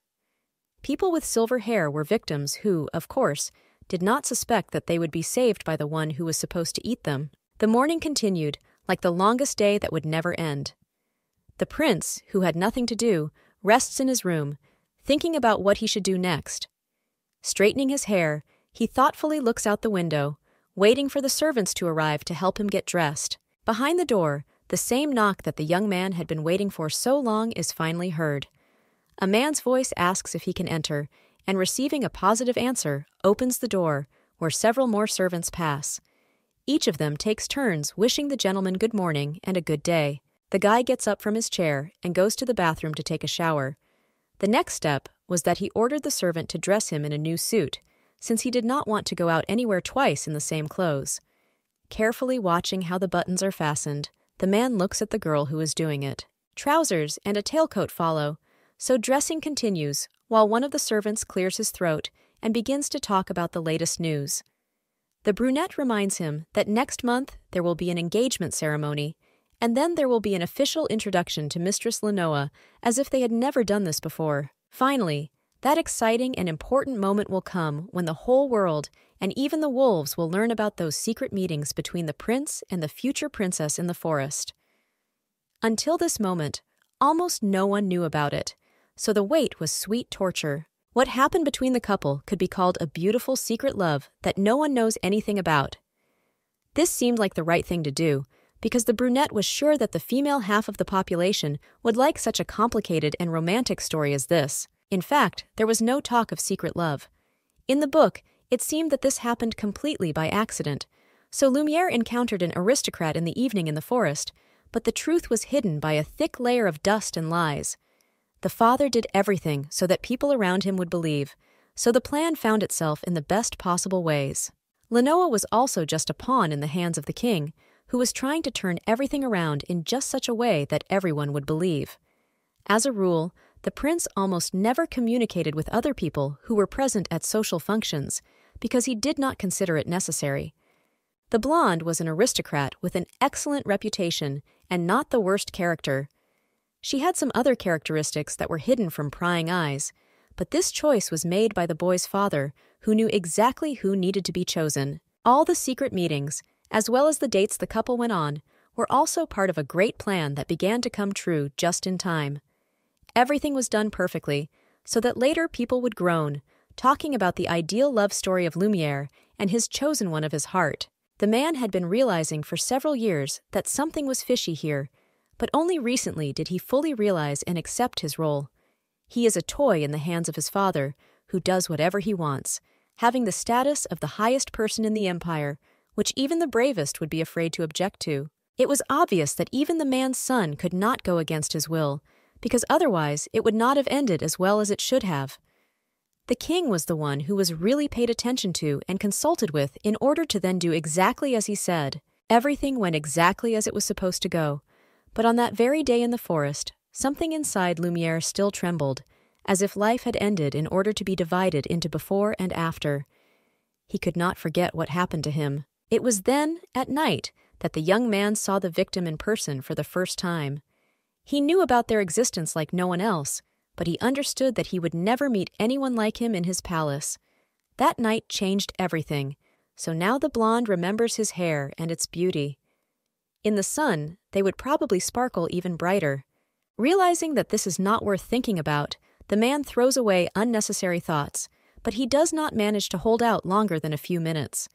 He turns to the servant, quietly asking him if anyone knows the name of the very victim from the forest who was captured. The brunette hesitates and then tells the truth as it is, because he really doesn't know who it was. You shouldn't bother your head, which already has so many problems associated with the state, with some name of an ordinary victim who in the end disappeared anyway, which means she was most likely eaten. The man doesn't answer. He intently examines the interior of the room, starting to make a plan for what else he could ask so as not to fall under suspicion. I would like to know if the girl is still alive, or if everything is already over. There was still a chance, which gave hope. These are the affairs of the Castle Claude, and not Aurelian, who fulfilled his duty by handing over the maiden into the hands of the king. However, everyone knew that there was an agreement according to which it was necessary to fulfill what was specified. According to the contract, the maiden must be eaten only after two years, since she is too young for the victim. The man assures that this is a normal phenomenon when you have to wait, so it becomes clear that the girl was unlikely to be killed. The agreement that was concluded between the two states is very ancient, so no one is recommended to violate the established rules. Perhaps the wolves found a loophole in the points. The conversation is nearing the end, because apparently the prince has exhausted his prepared questions that he had, but the servant remembers something. It turned out that recently the girl who was caught was seen again in the city near the castle, and there was no logical explanation for this. One of the maids tucks her hair into a beautiful bow, trying to do it as neatly as possible, while the prince almost jumps from surprise. He does not quite understand how it happened that the maiden was able to leave and even return back to Aurelian, from which she came. The servant tries to calm Lumiere, who no longer seems to have any interest at all. The man does not know why this happened, but after this the servants noticed that the blonde took a walk and returned back to the Castle Claude, from which she originally arrived, as if she was not a victim at all. The young man remembers what happened that night, trying to build his memories as clearly as possible. If that night he had taken the beauty's hand, perhaps everything would have turned out completely differently, and not as it is now. One could think about this forever, because nothing has changed. If the actions had been different then, then events would have changed, and the prince would no longer be obedient and ideal, one who constantly obeys everything that is said and carries out every undertaking with great pleasure, which would later fade away. Now the guy had no choice, but he could not stop thinking only about the fact that it would be possible to completely change what was happening. He wished for everything to change, as if nothing existed, so he bowed his head sadly to hide his face and his emotions. In reality, the thoughts and ideas were nothing more than just delusions. If the prince had acted properly, nothing good would have come of it, because the peace between people and animals would have been broken forever. The servant who is trying to reach His Highness does not even suspect anything about his thoughts. Rising from the sofa, the young man goes to the window, asking the brunette if it is true that animals are so frightening that everyone is afraid of them, but no one gives him the specific answer he would like to receive. The castle is in decline, so if you believe what they say, Victory will await Aurelian very soon with the help of their knights. The servant's words do not seem so true, because many people only talk about how powerful the werewolf king from Claude Castle is. He is much stronger than the other king known to the world, so Lumiere has doubts about capturing such a kingdom with just Aurelian's military forces. Those who think so are too naive, despite their behavior. It will be impossible to take such a person out of numbers, even if such an opportunity arises, because he will easily cope with every guard who dies. You should not rely only on luck, because it will not lead to anything good. The man gets up and is about to leave the estate, pushing away even the maid who is trying to throw a cape over his shoulders. He is tired of playing children's games, which only take up too much time.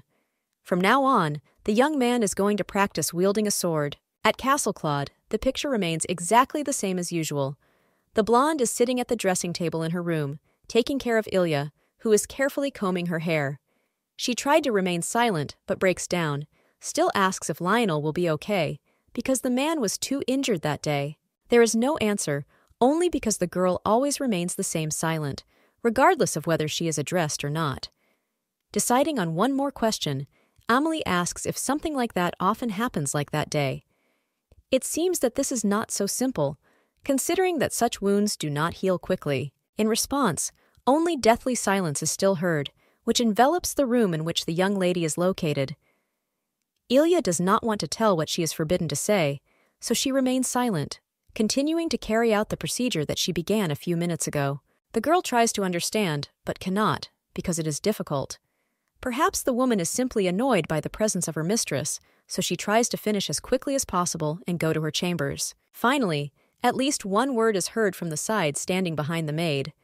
She will not be swayed by the presence of other people, and she is not going to talk about it, since they are simply trying to get her into a negative emotion in order to tell all the secrets of the castle. Amelie falls silent. She is confused again, but this time things are even worse and more complicated. Beauty does not understand what position she holds in this estate, even if she tries hard to find out by continuing to put pressure on the rest of the people around. No one says anything, choosing to completely ignore whatever is asked. Virgo doesn't want to be the victim who gets killed, but obviously she is.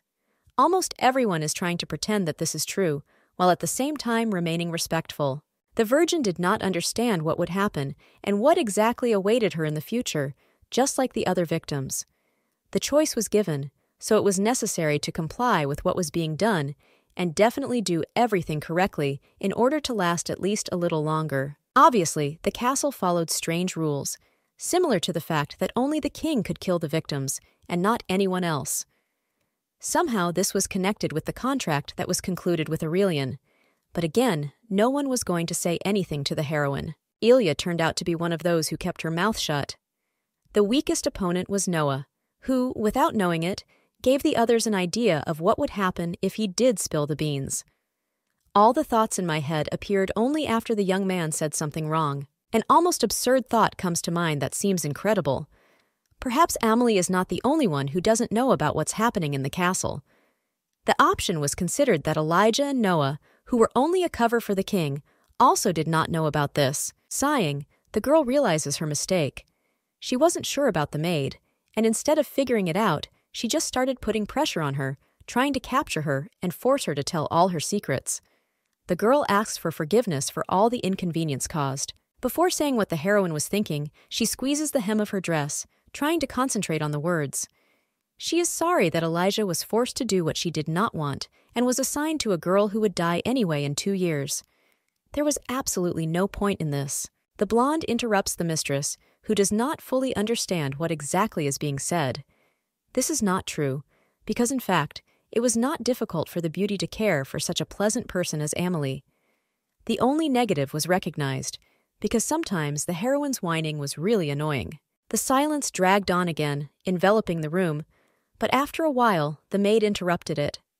A number of questions still remained in my head, just like the responsibilities that, of course, existed. Virgo asks if she should bring breakfast to the room, or if the girl should go downstairs herself. The blonde interrupts the maid before she can draw her conclusions. Nothing is needed, because the lady does not want to bother anyone, just because of her whims, which have absolutely no filter. The girl does not like to be obligated to anyone or feel strange. The maid already had a lot of work, which was added to by any wrong move of the victim who arrived for the next two years. This was completely unnecessary, so it was worth admitting.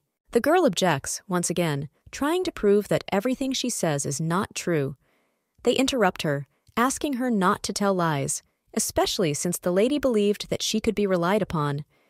You shouldn't say stupid things just to save the situation. The blonde tried to think relatively sensibly, but in the end, nothing really came of it. The girl would live in the castle for two more years, which meant that she was just an extra mouth that ate for nothing. Obviously, both Noah and the heroine could not like this, under any circumstances. Elijah, without expressing any emotion, again shakes his head in denial. She answered both for herself and for Noah, as if she knew in advance what he would say to what they were talking about. It didn't matter that much, but it was still important. Patience was slowly coming to an end, almost running out and exhausting itself. The girl, getting up from her seat, heads forward to quickly avoid the company of the maid, who is incredibly annoying. Virgo tries not to react, simply remaining calm. Still not a single emotion is shown on her face, so she just comes up from behind, quietly reminding her that there are still hair decorations that needed to be put on top after combing and all the other procedures that were carried out.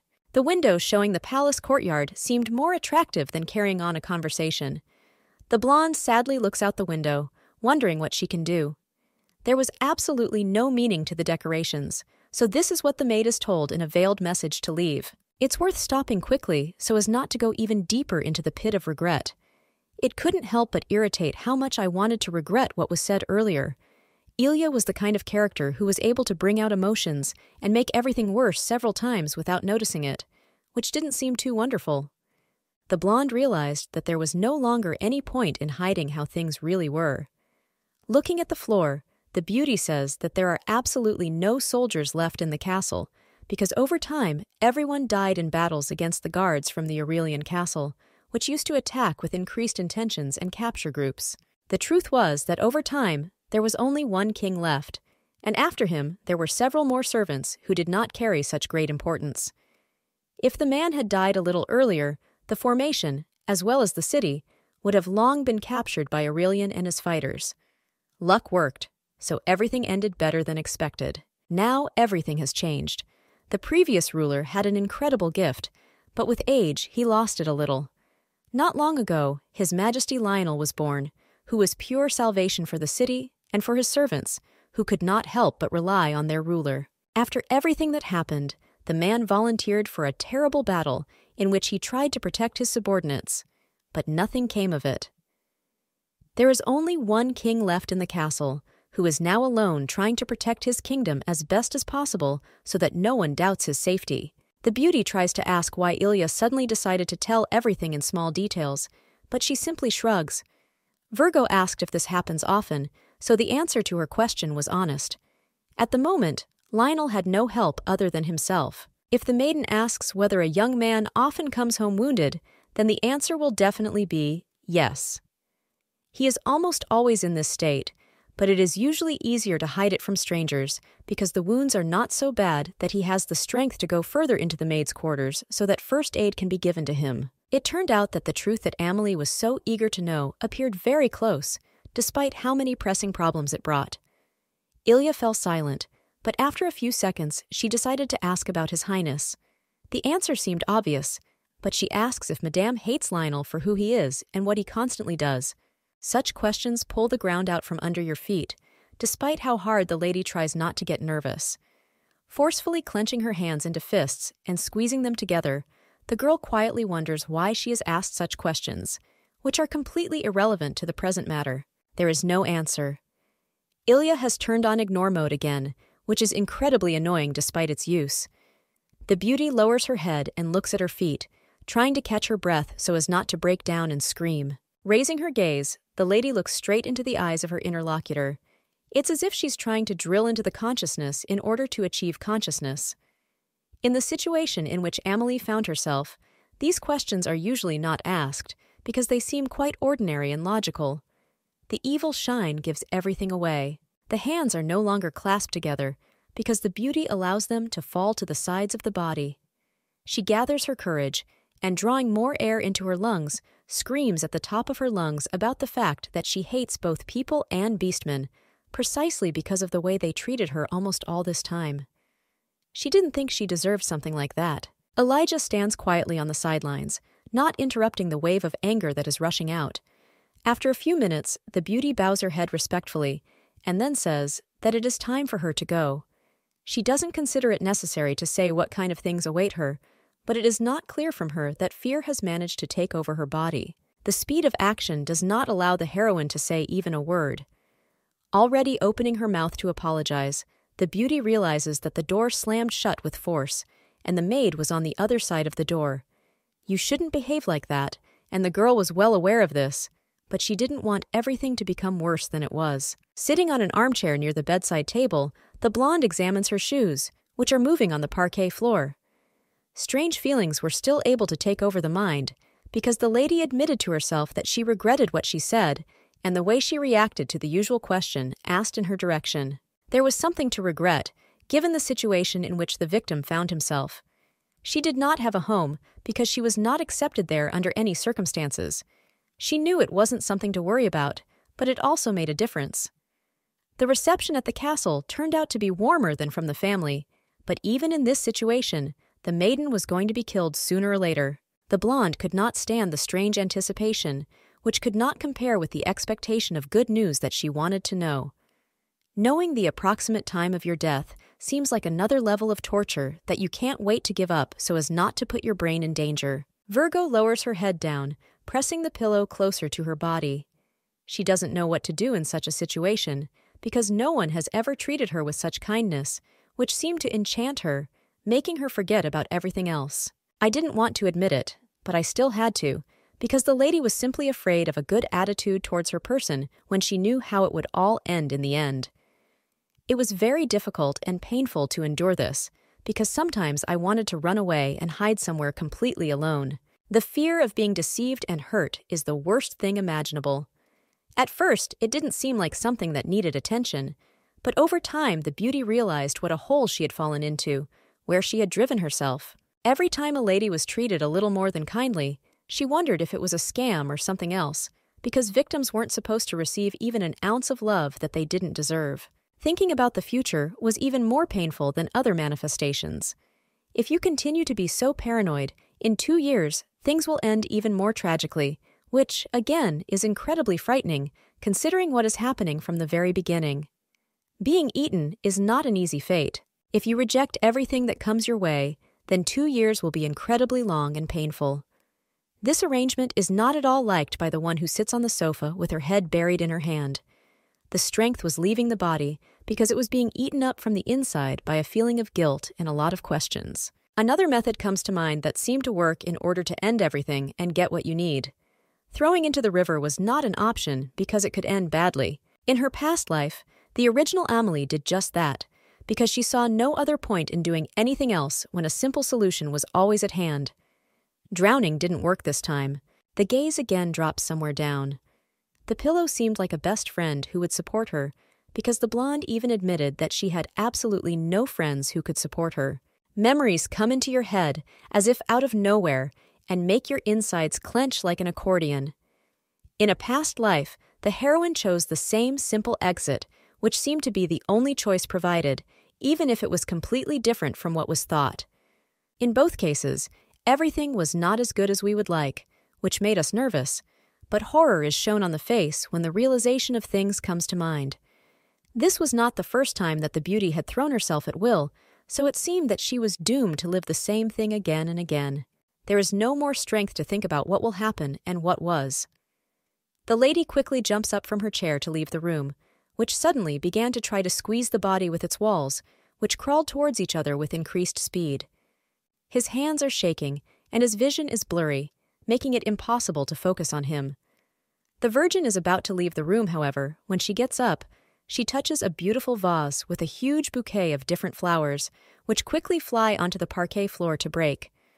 The door opens sharply, almost at the same second. Elijah was the person who showed up on the doorstep again. For the first time, the blonde showed at least one emotion, and it was pure anxiety that did not allow her to relax, even in this situation. She asks what happened. The lady who is about to leave is sitting on the ground with her hands on the floor. Nearby, there are fragments and flowers that float in a puddle of water.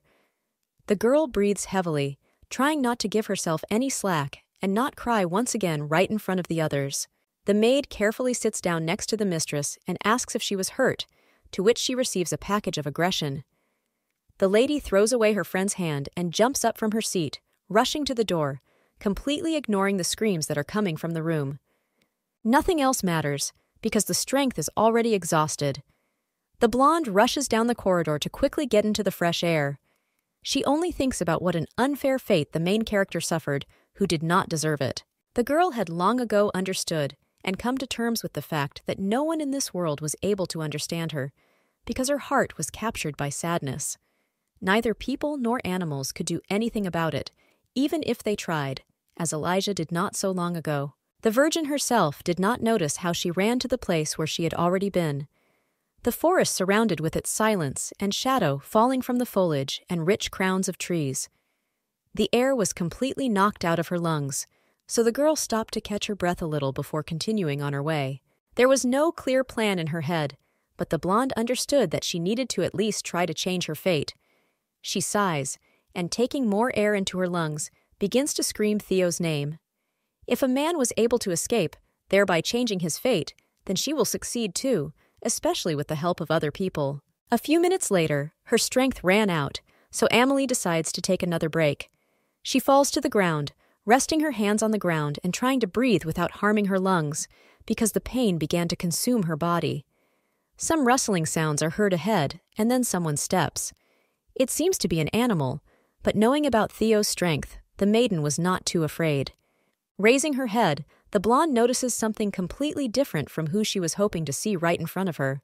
A strange panther, similar to a bear because of its strong paws, found itself a meter away from the weakened body of a woman who did not even have the strength to scream in horror and awareness of the inevitable.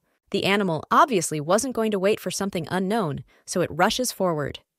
As if in slow motion, the movements become clear, giving time to be horrified, because the teeth that are visible from the mouth foreshadow a big disaster that certainly cannot be avoided. The beauty closes her eyes and covers her face with her hands. She could have tried to do something, but the lack of strength and desire did not allow her to do anything at all. Admitting defeat, the maiden understands that no matter how happy she is, this time the final end has come. A stone flies from the side, which hits the face of the animal with force, which jumps away. The blonde, who already thought that she had died, realizes that nothing is over. So, opening her eyes, she looks around in fear, noticing the fact that someone has crushed the panther. Instead of defeat, the beast only became even more angry. Turning to the side to look behind her, the girl notices Ilya, who has arrived to help. The girl seems fragile and small, but instead of running away, she takes a fighting stance and picks up another heavy stone from the ground with which she could try to fight back. A few seconds later, the thing was thrown forward. In a few moments, the beauty managed to be next to the mistress and, at the speed of light, take out a small folding knife from her pocket. The fear was still noticeable because it was revealed by the hands, which were shaking easily, trying to hold the weapon pointed forward. Virgo does not understand why the maid, after everything she said and after the way she behaved, still came to protect. Risking your life is not something that is done just like that, so there was some hidden meaning that had to be found out as quickly as possible. The panther slowly steps forward, intending to make everyone regret what happened. The blonde, not realizing the whole situation, once again quietly asks what the maid is doing here, who, by chance, arrived just in time to save the girl's life. The answer does not come immediately, because the Virgo is focused on the danger that is approaching. Collecting her thoughts, the lady says that she was simply worried about Amelie, who ran away in the direction of the forest, which may not be so safe. This was precisely the reason why the beauty followed the mistress. For the heroine, it is obvious that this was still not considered the most important argument, so she asks her question, but in a different sentence, one more time. This is annoying, but the response is again silence. The danger is getting closer, so this reaction is logical. The woman followed Amelie only in order not to let her out of her sight and to know exactly where the victim was. But then the best solution would have been to simply lock the girl in the castle without the right for her to go out anywhere and get lost or run away. Elijah, losing self control, almost starts screaming. During all this time, the new acquaintance was quite tired of her with her outbursts when she talked about how bad she felt and how terrible everything was. She had no intention of keeping anyone under surveillance because there was no order, especially since the real reason had already been spoken a little earlier. The girl quietly asks if this is true. In her world, everything that was said was the same, without any exceptions, therefore, no matter how much I wanted to change something, it was not possible. The blonde finally decides to finish off the maid, asking a million more questions. The most current one becomes the last one. She wants to know what sacrifices mean to the beastmen. Obviously, such individuals are nothing more than just mindless fodder that takes 18 years to prepare. The answer does not have time to fly out of the mouth of the acquaintance standing next to her, because the panther gets tired of beating around the bush and quickly approaches, forcing Elijah in horror to extend the small knife even further for complete protection, which was never provided. Everything was lost, so it became clear that both of them could no longer be saved. The solution was obvious. The heroine sitting on the ground begs the maid to leave her here and run away quickly, because she has no right to protect the food. If you have the courage to continue in the same spirit, there will be no point, because the lady herself will become food, only for the animal, which, with shining eyes, slowly approaches closer, growling with every step. Ilya turned out to be someone who was extremely serious and at the same time friendly, despite the way things were in general. She turned out to be a noble person who found her own way out in any situation. It didn't matter whether Amelie was a victim or not, because the Beauty's act had nothing to do with this, absolutely nothing. The blonde blinks his eyes in surprise. She doesn't believe what was said, because this was the first person in her life who thought exactly this way and not otherwise. This was something new and unknown, which made me wonder even more than if everything was in order. Virgo steps back, but realizes that there is still no salvation in sight. She cannot understand how it happened that, despite the unequal forces, the maid was going to confront such an opponent with just a small knife, which was the size of several fingers, against a huge animal.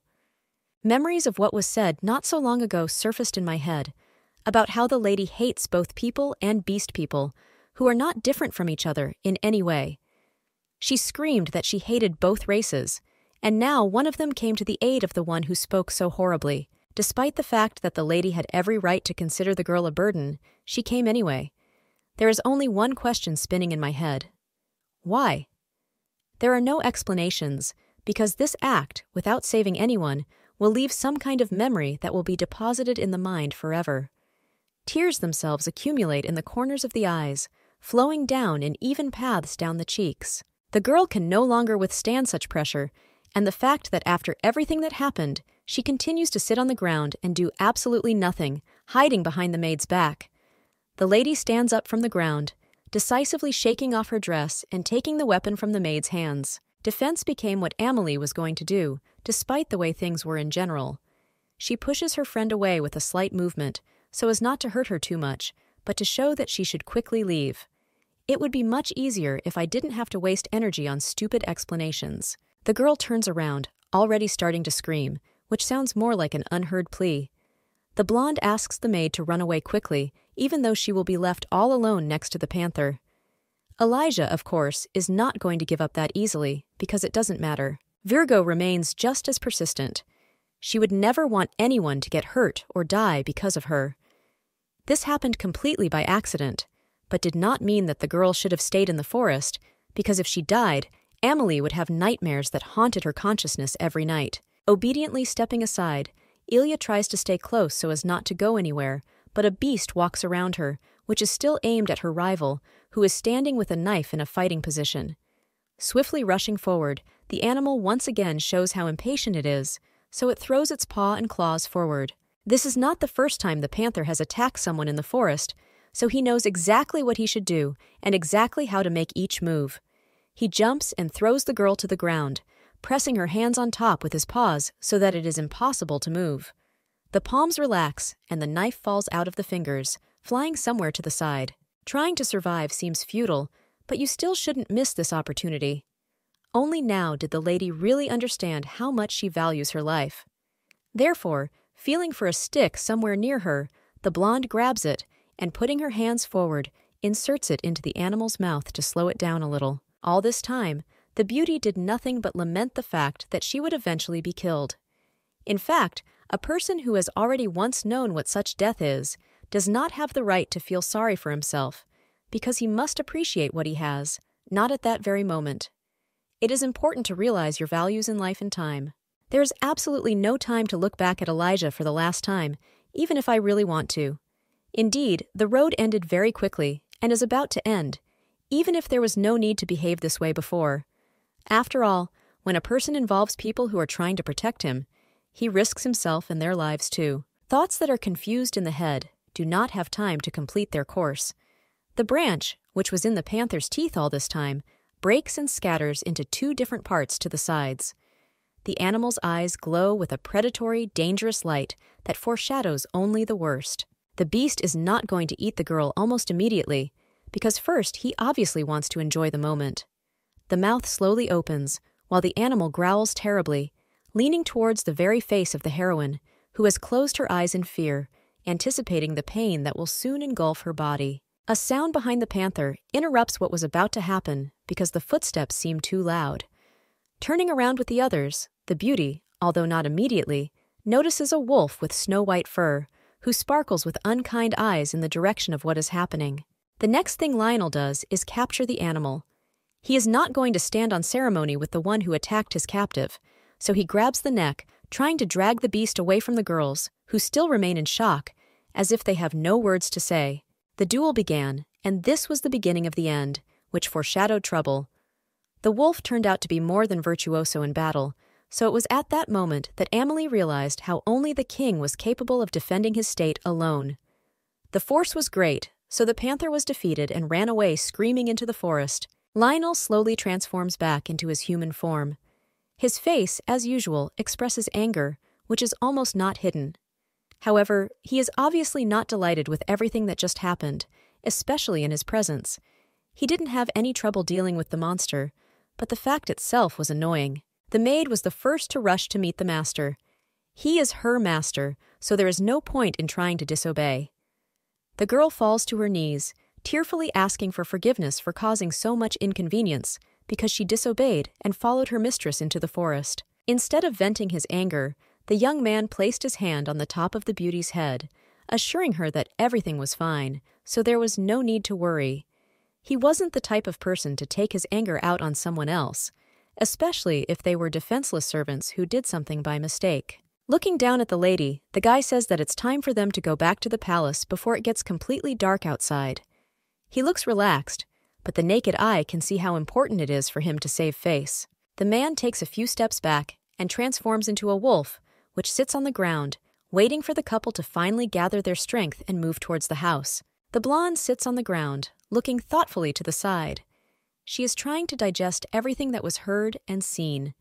There was a complete mess in my head that was impossible to calm down, so my eyes increased in size, almost several times. The man lost all patience because Amelie did not extend her hand towards the maid who was trying to lift her. Approaching closer, the animal grabs the collar of the dress and throws the girl onto its back, sitting behind it so that when it picks up speed, it does not accidentally fall. A few seconds later, the animal is already rushing forward along the path that leads away from the forest, in which it is too cold and scary.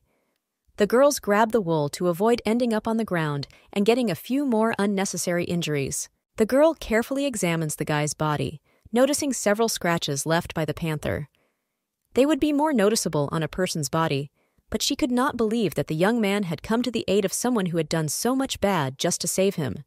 The beast was in too much pain. Upon arrival at the palace, they were met at one of the entrances by Hyde, who carefully extended his hands to help the girls get off the man's back. Later, he was going to examine His Highness for injury and other problems that could have happened completely by accident. The Virgin lowers herself behind the cold tiles, looking around to find the maid who has already disappeared somewhere or was still in the palace. The young man transformed back into a human and, straightening his clothes, walked next to the lady, who attempted to apologize but was interrupted. The man quietly asks about the presence of wounds, to which he receives an easy answer that they are not serious at all and therefore are not worth attention. Coming closer, for the second time, he just as unexpectedly bends down to bite his neck and understand what happened. Running his nose along, the guy obviously chuckled. He assumed that what happened would happen, but he was not exactly sure of it. Only now, receiving confirmation, it became clear that the king's scent, which he left last time to protect his body from other animals, had disappeared. The girl did not immediately understand what was being said, but after a few seconds, she remembered that small incident that happened quite recently. The man did this only for additional protection. The guy also had to take care of his other subordinates, so of course he asked about how Ilya was feeling, but she ended up in the hands of Hyde, who would take care of her. It wasn't even worth worrying about anymore, so the guy grabs the blonde's hand and drags her forward with him. The girl tries to ask what is happening, but in response, she receives absolutely no words that could explain anything. Taking the lady into the room, the guy throws her onto a chair in which the body will be examined to detect wounds or bruises that might have appeared overnight. Instead of getting down to business, the guy turns around and leaves the room, saying that he will be back soon. Virgo is obliged not to go anywhere and just sit still, waiting for someone to come to her soon. Not even a few minutes had passed before the young man returned, as promised, but already with a suitcase, which apparently contained everything needed for cases of injuries and more. The first thing that came out of the box were bandages, which had to be unwound before attaching them anywhere. Realizing what is about to happen, the beauty puts her hand forward, trying to object, saying that she can handle it just fine on her own. But instead, in the end, she simply extends her hand so that Lionel begins his procedure. Carefully observing every movement on the part of the man, the girl notices the fact that it is quite strange to see a young man doing such a thing. She meant this in a good way, but taking everything worse than it is, the guy asks not to complain so as not to worsen the situation. Virgo refuses because she doesn't complain. She would never return it, but it is strange that the king himself provides medical care, especially when it comes to someone like a girl who is just a victim. The man freezes and even looks up from what he's doing. He raises his head up, looking into the eyes of the girl, who seems to be completely unfazed. She sits as if nothing had happened and looks at her interlocutor when he asks what is strange about providing first aid. Perhaps it really is a matter of not having enough hands. There weren't many servants in the castle, and after Ilya's story, in which she told a lot, thereby shedding light on the situation around him, the king himself was forced to serve his own subordinates, because otherwise he would have been left completely alone. Inspecting the work, the beauty carefully adjusts the bandages, which have managed to slide a little to the side. Virgo looks at the blonde and then thanks him for doing something that will help him feel better faster, even if the psychological trauma does not go away so easily. The man nods in response and then picks up the first aid kit and heads towards the exit, but is stopped. The blonde takes the thing away, trying to start a conversation about the wounds that she saw earlier on the wolf's neck and back when they were driving back from the forest. They could not be missed, because otherwise there could be consequences. Intending to press for pity or try to force the guy to abandon the idea, the girl hands the little thing back. If she is not trustworthy, then of course she will not insist on anything. It would be strange if the king agreed to accept help from a captive who was lower in status than him. Still deciding not to give up, the girl resolutely points her finger at her hand, asking to see the wound. No matter how uncomfortable it was to receive help, it still had to be done before to avoid infection and other not so great things. No longer finding the strength to listen to reproaches and everything else, the man silently rolls up his sleeve, extending his hand forward to the table. The heroine carefully examines the wound, trying to understand where exactly to start in order to achieve the best result. It's strange that everything that happened turned out this way. I couldn't believe that just recently the beauty's life was different from what she was doing now. She wouldn't have been able to think of something like this before. The guy interrupts the flow of thoughts, which seems to never end, saying that the girl does not do everything carefully. By clicking her tongue, the lady reminds you that she is just trying, even if it is not the best she can do. While adjusting the bandage, the promise is made that from now on, all movements will be much more gentle and careful if the king himself so wishes. The beauty could not explain what exactly she was doing, but she was well aware that she was not afraid of the man standing right in front of her. Fear was completely absent, dulled. The Virgo sits directly in front of the man who is going to end her life in the future, as if nothing had happened. It seems as if the universe has acquired new colors, which are now significantly different. The guy is silent, because he is satisfied with everything and is just waiting to leave quickly. The room was boring because it had become a prison, in which even the walls put pressure on the consciousness, so the heroine decided to go to see the main possessions of the king. She didn't know what exactly she wanted to see, but it didn't give her peace, so the maiden slowly climbs the steps to one of the towers. Almost having reached the site, the lady freezes because she realizes that she is not alone. Behind the wall, literally a few meters away, are Noah and Lionel, who are talking in slightly elevated tones. The boy seems alarmed by the situation that has developed, because the gentleman has a lot of wounds and asks for forgiveness. The blonde nods his head to try to convince his subject, who already seems ready to fall into hysterics. The expedition took place at the will and order of the king, so there is nothing wrong with this, since the young man was aware of what he was doing, just like every step he took. The boy, who cannot be calmed down, continues to try to object, to which he is once again simply interrupted. Noah could have come earlier, but did not. But it is not his fault, because the hero already does more than enough to save the kingdom and his king. What happened could be considered a lack of due respect, which really disappeared as soon as the blonde did not come in time to somehow try to help. His eyes sadly drop to the floor, indicating that he is sad even to look at the man opposite. The girl standing behind the column managed to quickly build a logical chain. Yesterday, for some reason, Noah was absent from the castle, so Lionel had to personally come to the forest in order to save Amelie and Ilya, who also ended up there. He didn't want to do this, but he was literally forced by circumstances and the way they turned out. The king is about to leave to attend to his other affairs. It's obvious that he doesn't see the point in staying and trying to do anything because he's made his opinion known beforehand. The servant bows his head in respect and then turns to ask Amelie if she likes peeking so much that she decided to do it. The knight's gaze and vigilance are a little astonishing, but the beauty does not dare to try to object because this can only ruin all communication. She hesitates a little on the spot, trying to say something in her own defense, because in the end, the couple was noticed completely by accident, even if the heroine just decided to take a walk.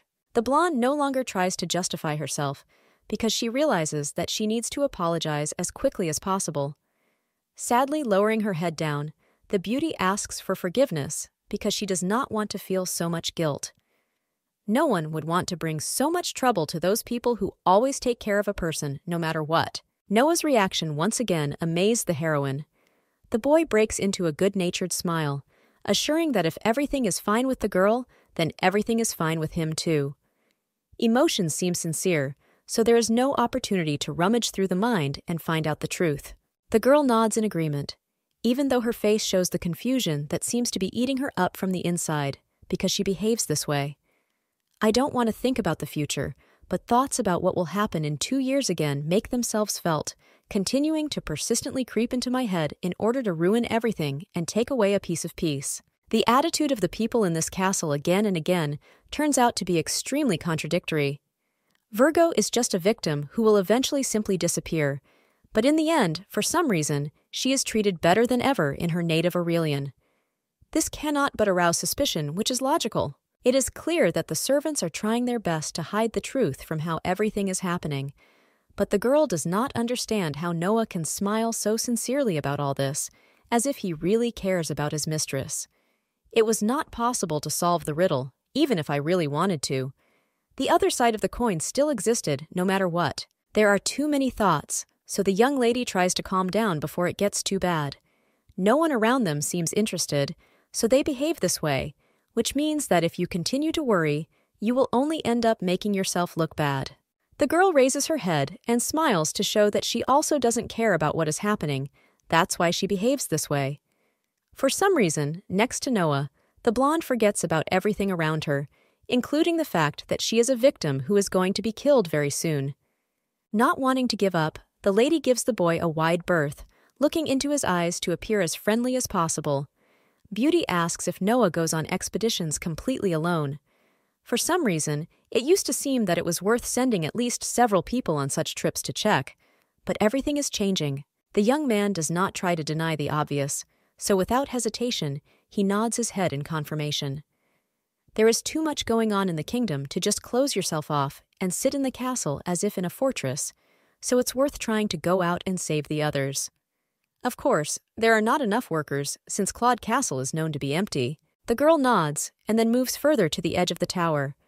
The high partition does not allow you to calmly look down, so you can only look forward to understand what is there. This view makes you forget about all the horrors that are happening around, at least for a minute. Lady asks if Noah is counted on for strength, even though she thinks the answer is obvious. Although the boy seems small, he has quite a lot of strength that has not yet been exhausted. The answer is amazing because the young man turned out to be modest, believing that he could never compare with Lionel, who was much more, The conversation is abruptly interrupted because the man suddenly turns his gaze somewhere to the side. His behavior does not bode well, so the beauty turns her gaze directly behind him into the distance, trying to understand what is there. The guy's eyes anxiously run from side to side, trying to anticipate what will happen. The man almost instantly grabs his bow, which he tunes and then draws forward. Virgo tries to get through to the guy by saying his name, but does not receive any reaction, since being preoccupied with the situation completely eliminates everyone else. The blonde does not lower his bow and continues to spin from side to side. He still seems worried, so he tries to explore the area, which is somewhere below the castle. He felt a strange gaze on him, so he couldn't just let it get away with it as if everything was completely fine. Virgo carefully watches every movement. She didn't want to admit it, but she easily took it back, because even if the guy didn't look cool, he was still cool by continuing to act like that. The young man lowers his weapon, sighing heavily. The situation has improved because the person who was below has apparently disappeared somewhere, so the guy moves back. Nothing bad happened, however. Pointing to the stairs, the hero asks, if possible, not to be near the fortress wall, which could be attacked. The blonde nods in agreement, looking away somewhere to the side. She wondered what she should do next, but it was obvious that she was interrupted once again, asking questions about safety. Noah quietly apologizes because he realized too late that he scared the girl with his behavior. The heroine shakes her head negatively. She was not frightened by what had happened, even if it seemed as if the fragile girl should even cry. Quietly talking about how cool the man looked when he tried to target the enemy, the girl looks into the eyes again to enhance the effect of her future request. The lady looks quite confident in her decision, so she says that she would also like to learn how to handle the weapon she would choose. I didn't want to remain defenseless in case of an attack, so this option seemed quite feasible in order to protect my body. The blonde freezes. From his face, it becomes clear that the young man expected to hear anything, of course, except for what he was told in the end. He wanted to ask in more detail, but immediately understood that the refusal would be bitter. Such a surge of energy remained a mystery, because it happened not only because of the beautiful pose of the young man with a bow in his hands. The beauty tries to justify herself, since obviously this makes sense. She thought that it would be nice to know how to handle weapons in order to protect herself from misfortunes that could appear out of nowhere. She didn't want anything done to her, and she couldn't even resist. The girl, of course, did not fully explain the motives that prompted her to such thoughts. Everything she said was a little one sided because of the way it changed, which couldn't help but look strange. Obviously, the lady was afraid to meet the panther in the forest again and not experience the same luck next time as this time. Noah still bats his eyes innocently, trying to object to something, or at least think about what could be said. The protection that relates to the maiden is carried out by the knight, so there is no need to even doubt him. However, he still cannot completely change the beauty's opinion just one second after everything happened. The man was not going to interfere with the urge to learn, so he turns back, as if trying to find something. If a lady really wants to try and become a professional, then all the doors with opportunities will certainly be open right in front of her, which can't help but rejoice. The guy finds the very thing he was trying to track down and pulls out from behind his back a case with a sword, which is carefully wrapped in dark material. First, it's worth trying to at least hold a real weapon, in order to at least understand what true strength is. Not everyone is able to even handle a sword at the very beginning of their journey. The girl blinks her eyes in surprise, but still accepts the sword from the hands of the young man, who persistently holds it out. The thing seems heavy, so the lady once again thinks about what she will do in the future. What's scary is not even what you'll have to study, but how things will turn out if you don't. The mouth of a panther flashes before your eyes, which almost ate the heroine. The girl takes out the thing and then tries to swing it in different directions, trying not to hit Noah, who is standing a few steps away from her. After a few minutes, the strength leaves the body, so the beauty sadly lowers the sword down, asking for forgiveness, because obviously the strength was overestimated, because Amelie will not be able to wield the weapon even after many trainings. This was visible almost immediately. The blonde takes his sword back and then puts it in his bosom. He looks thoughtfully into the distance, as if trying to come up with some kind of workaround that seems not to be found. Grunting, the guy again confirms that owning such a weapon is not easy, so you shouldn't be so upset that not everything works out. An idea comes to mind on its own. even if it was not what I would like to do. The bow is also not the worst weapon to use. The thing is much easier to use, even if you still need to learn a lot before you start hitting your targets or your enemies on the battlefield when the battle begins. Such training is even suitable for combating boredom, which is absolutely true. The girl looks with interest at what the guy is doing, who again draws the bow in order to be accepted. Noah didn't have much time, but he immediately promised that they would take on training the new recruit if the lady decided to take this important step. Grabbing the little thing, the beauty looks into the eyes, which glow with happiness. She didn't think that she would have to study not in splendid isolation, so the smile itself spreads across her face, as if there was a holiday that ended on a good note. Since the heroine asks for this, it means, of course, that her dreams will come true. Such words make the beauty feel embarrassed and become covered with red paint, which spreads across her cheeks. She is not used to such good treatment, much less to the smiles that are given to her almost on a constant basis while she is in a castle in which she is considered a prisoner with free access to the city. The beauty got to work almost immediately in order to have time to do everything in the best possible way. The blonde tried her best to make her studies progress faster. Noah seemed less interested, but he always tried to make the girl feel comfortable and able to do what she wanted. The beauty always preferred to play by the rules, but sometimes she jokingly said that if she became stronger and defeated Lionel, she should not regret it, because the servant was the one who trained her. There was always a sarcastic smile on his face that made itself felt. After something like this, the young man almost always burst into laughter, which echoed throughout the area. He didn't believe that this was possible, so he preferred to talk about everything in that way. If the girl were not joking, one would think that she was too arrogant. Usually, after jokes, the beauty looked at Noah, and then a minute later, she also burst into laughter, which could not be stopped under any pretext.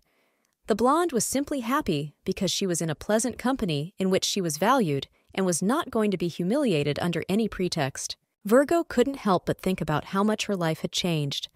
She didn't remember the last time she laughed so hard, considering that this time it was real, something sincere and true.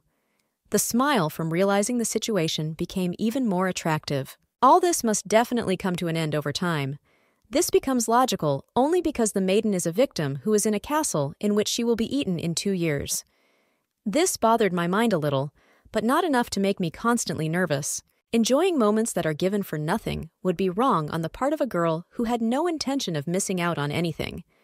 She understood perfectly well that she would never again receive so many positive emotions that had surrounded her all the last days. The beauty assumed that learning self defense techniques would come in handy, the situations were different, but the girl didn't want to rely on Noah every time, because the last time it almost ended in failure, which the beauty suffered. She did not understand why studying became more and more difficult over time and caused more and more problems. It is obvious that Amelie was too rash. It was necessary to think about everything in advance, instead of running away with words that in the end everything would end perfectly, exactly as it should. The beauty was tired of the failures that seemed to follow her in a long line. The situation irritated the young lady beyond belief. It was impossible to get everything at once, because, as you know, if you don't try, the ability to own a weapon or something else will not arise on its own, even if you try your best. This was the only reassurance for the beauty, who could no longer experience anything. My arms are incredibly tired from grueling workouts. The blonde tried to relax or get at least an extra minute of rest, but almost always it didn't end on the best note, because everything came back a day later. The fingers were red, and there were constant calluses on them. The girl stops once again to catch her breath. She realizes that even on this day, the training was not a success precisely because of how difficult it was to cope with all the problems that fell right on her head at once. The girl could not believe that tomorrow would be exactly the same grueling day. Sighing, the blonde heads forward into the field to collect the arrows that missed the target. A keen eye notices that the arrows become fewer and fewer each time, simply due to the clumsiness of the one who trained with all his might, so much so that many of the efforts simply went to waste. Squeezing the wooden things with her hands, the beauty almost breaks them into two parts, realizing in time the problem that overtakes her with every step, getting closer. At this rate, it won't take long to get angry and completely destroy the training room, so the girl decides to take a little break. Rest was one of the most important parts, just like everything else. Without it, misunderstandings arose that were more difficult to resolve. The lady was well aware of the exact situation she found herself in, so she was not going to risk anything. She gets up to go to her room and just lie down for a while. Throwing a case with arrows onto her shoulder, the girl passes by in order to get to the palace as quickly as possible and, of course, remain unnoticed, because no other arrangement suited her. Something along the way is incredibly eye catching, even if the reason seems strange. In the distance, you can see a small house, which looks more like the one in which the woman used to live. She looks around and then quietly approaches the door, which is not open. It is open there, which cannot but surprise, but curiosity takes over, so the beauty carefully reaches for the handle. The room turned out to be almost completely empty. Dust flies around because of how many abandoned things are in the room. Armor and spears were what was most abundant, even if there were only a few of them in the specimens. Virgo looks around the room thoughtfully. She can't contain her interest because she would like to know how many soldiers there used to be who eventually died. Noah's story touched the soul, so the heroine became more sympathetic to the king, who did everything alone. The furnishings in the room made it clear that this place was used extremely rarely. Logic did not try to replace itself, because the absence of people brought with it a bunch of other problems that had to be solved, even if it was difficult. The beauty would like things in the castle to be as they once were. The day of the end of Claude's castle is very near. The world of the Beastmen is at a loss, so it is logical that the king does not have enough people. He tries to protect those he has left, not even realizing that very soon he will have to try to protect himself, because Prince Lumiere will try to kill him. The blonde catches herself thinking of regret towards Lionel and tries to push it out of her head. Such thoughts are not appropriate for a lady who will still remain in the status of a victim who is going to be killed very soon without any regrets that could have their place. In the book, as in life, the animals had a hard time at almost every step. No one wanted to help those who did not behave properly. Lionel seemed much better as soon as he had the opportunity to communicate with him better, but at first glance the impression was terrible because the Werewolf King inspired fear and horror. What is happening is very different from the original. Previously, the girl did not understand the whole truth, but over time, she became aware of what she had not received before. In the end, it is still worth sympathizing with those who will very soon die, along with all their servants and people who will be taken captive in order to achieve a better life. In a past life, as a child, the girl was a rather susceptible child who tried to feel sorry for everyone around her, despite their status or privileges. The brunette spent almost all her time surrounded by her mother and the book, which still remained her favorite, despite the end of the story. The little girl assured her mother that the beast was kind, and then usually talked about how sorry she was for him for the way he was treated and because of the fate that followed the man on his heels. The woman never understood the logic of a small child, so she only laughed lightly, trying to move the topic in the right direction from something that could lead to strife. The beauty's eyes widen in realization. In this life, the girl fell into the same trap that was set by the guy who didn't even suspect it. The awareness of the situation could not help but sadden, just like the fear that was creeping up to the very heart that had long been captured. Such thoughts seemed absurd, so, trying to get rid of the obsession as quickly as possible, the blonde actively shook her head. Finding time for such thoughts was as easy as shelling pears, even if the lady was going to continue practicing to try a few more new techniques for wielding a weapon. Returning to the training field, the lady again grabs her bow and arrows. She was pretty tired of worrying so much about the king and other unnecessary thoughts. Sometimes she just wanted to forget herself for at least a few minutes and then return, as if nothing had happened, to take a rest. The arrow once again takes off in order to reach its goal. However, this time she didn't even reach the target and fell about a meter away from it. There was absolutely no strength left in my hands to continue launching my anger at the target. It was worth finally admitting that nothing would work out no matter how much I wanted to change something. The face shows disappointment, covered with a crazy smile. The lady realized a long time ago that she had a lot of problems that needed to be controlled from the very beginning. Progression did not show itself, but instead, regression finally showed itself. The girl couldn't help but notice that every time everything was only getting worse and more unbearable. Once again, in order to miss, without the theme that the heroine was in the mood for. So, she grabs her bow and arrows and points it to the side. But then she feels something strange. Someone's presence right behind your back does not allow you to calm down, especially because the person puts his hand on his back and bow. Lionel is trying to show how to aim correctly. Virgo freezes for a few seconds because she's not confident in her strength, which seems to have exhausted itself long ago, just like everything else. However, he is not going to give up. The beauty straightens her hair and draws her bow again, hearing an order in her ear that now is the perfect moment to finally shoot and hit the target, which is what happens. The heroine's face expresses surprise mixed with pleasure, which cannot be hidden from prying eyes. After all, the lady is very happy that for the first time she managed to hit the target without any misses. The mouth opens on its own as she watches closely what happened. Emotions can no longer be contained because this seems too difficult for someone as intensely impressionable as the heroine. There is no limit to joy because you didn't need that much to be happy. Noticing the menacing gaze that is directed directly at her, the lady turns away, trying to hide everything that she wanted to say, only in a fit of happiness, which rolled up on its own, as if out of nowhere. The cheeks are filled with red, even if the king does not notice it, looking at the top of the beauty's head. The guy remains persistent, so he holds out another arrow, pushing it into the hand of the blonde, who blinks her eyes in surprise. Lionel orders to try to repeat the maneuver at least once more to be completely sure that it has been worked out. Virgo obeys because she understands that she has no other choice. She wanted to learn how to use a weapon, so now it's too late to give up what fell into her hands, almost just like that, without any effort. Confidence should not have time to disappear in such a short period of time. The heroine takes aim, while the blonde standing behind her grabs her elbow again, trying to adjust the angle of impact.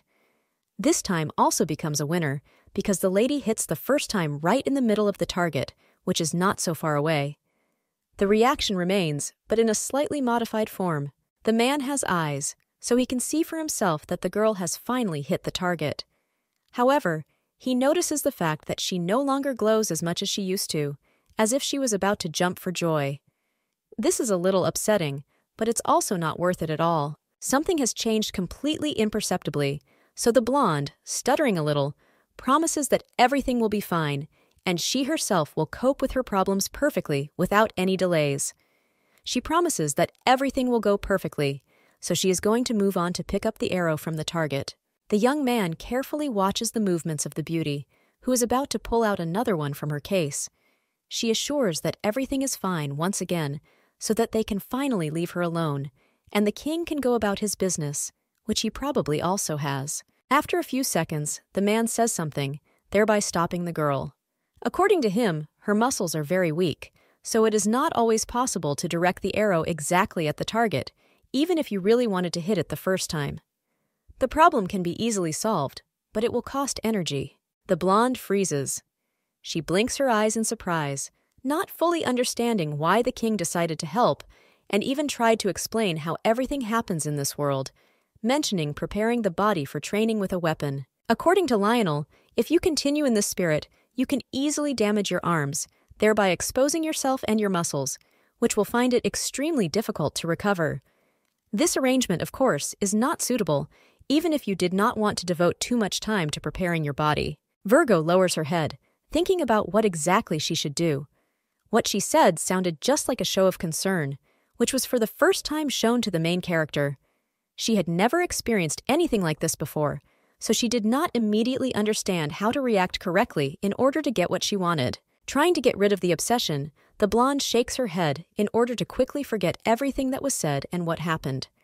She didn't want to fall in love or become attached to a person who was going to do the most terrible things to her, after which her life would end. Turning away and drawing the bow in her hands again, the girl steps back, assuring that she will be completely fine.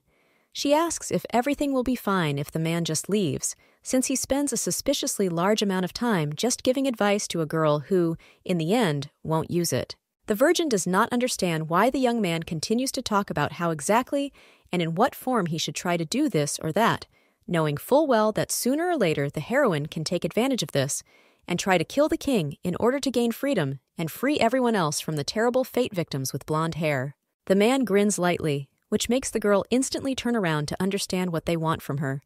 she will undoubtedly make herself look like a strange, uneducated person if she even attempts to do what is being said, because the chances will be almost zero, even with good preparation. If a Virgo really wants to do something good for herself and her body, she must first take care of building muscle on her body if she doesn't want to become exhausted, after which it will be impossible to even hold a bow in her hands.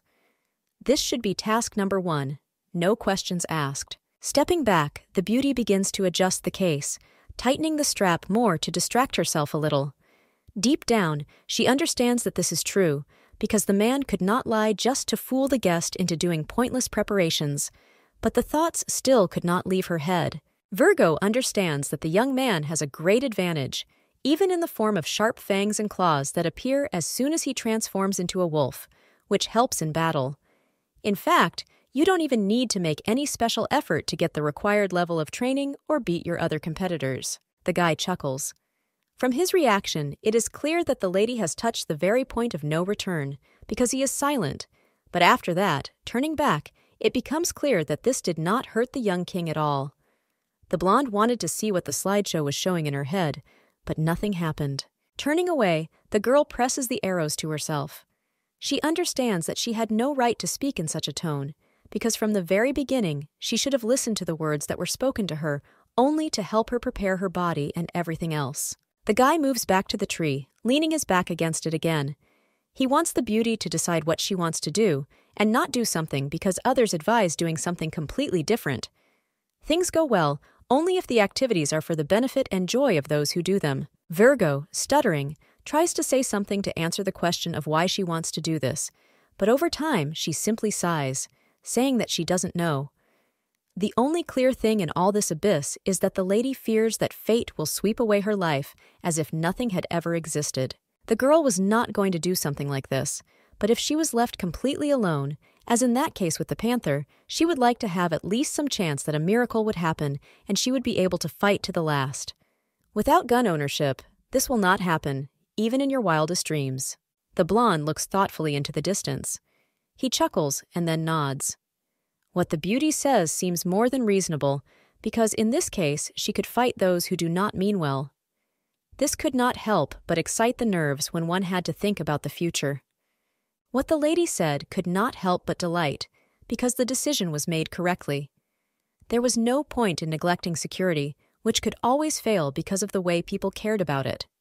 Preparation was important, and now it became clear what exactly it was for this person. Passing by the hero, who didn't say another word, the girl just quietly repeats how strange the guy really is. She had long ago accepted that she was unlikely to ever understand his thinking, as well as his train of thoughts, which always seemed incredibly confusing to an ordinary person who was not unique. Just as she was about to leave, the lady was stopped. The blonde calls the beauty, wanting to say something, to which she asks to talk later, but realizing what just happened, he instantly freezes, trying to digest everything that needs to be said in the next few minutes. It seems that the young man just called Amelie by name, as if it were something ordinary. Such cases could be counted on one hand, because usually such things did not even happen, despite the way things were. Looking straight into the lady's eyes, the hero says that there are still many other ways out and options to protect himself. There is no need to blindly hope that this can be done only with the help of combat skills and physical strength, which was one of the most well known factors. Knowledge is no less important because only with its help can one try to translate into reality what each person is going to do in a dangerous situation. The king knows what he's talking about because he's been in a similar mess more than once. The girl freezes, trying to quickly scroll through the answer options in her head. She is not strong enough to understand what they want from her, but it is clear that this is a clear hint that the lady is someone who lacks a mind that works correctly, which means it is almost an insult. After what was said, the young man did not say another word. Turning around, he walked away to leave some time and free space for the girl. She had to think carefully about what she was told and sort herself out. Memories flashed through my head like a slideshow about the very conversation that the girl had with the king, when the man noticed that not only physical training, which he constantly talked about, is important. The Virgin did not quite understand why those words were said, because she did not consider herself frankly stupid. Judging by what was said, it was obvious. Knowledge was truly one of the most important components. It was simply impossible to get what you wanted with force alone, because the people around were always smarter and more cunning. It was in this way that many managed to outwit the enemy and survive. After everything that had been said today, the beauty found herself in the library, where she had a specific goal. She set out to find a few books that she would like to read.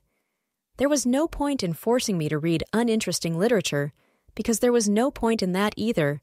Hyde was the one who led the blonde into the room because she didn't know where the library was located. While the girl stood with her mouth open in surprise, the young man came up from behind and, bowing, wished to have a pleasant time and benefit himself. The Virgin moves on, looking around in surprise. Many shelves were lined with a huge number of books that were around so that you could easily get them and sit down at a table where you could read a volume of a work of interest or a ton of information. The man reminded that other factors are also important for self defense, which is why the maiden received access to the royal library, which she did not even know about until that very moment. There were often similar rooms in the castle, but the heroine did not hope that she would ever see something like that. Lionel's actions remained as illogical as if Amelie had done the same.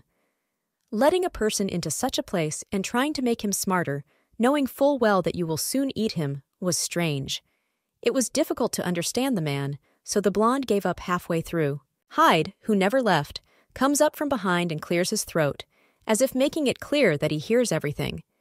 Such zeal on the part of the owner could be considered as a matter of dispelling the boredom that itself fell upon the girl sitting in her room. No one knows whether what the servant says is true, or what the heroine believes, however, in order not to arouse suspicion.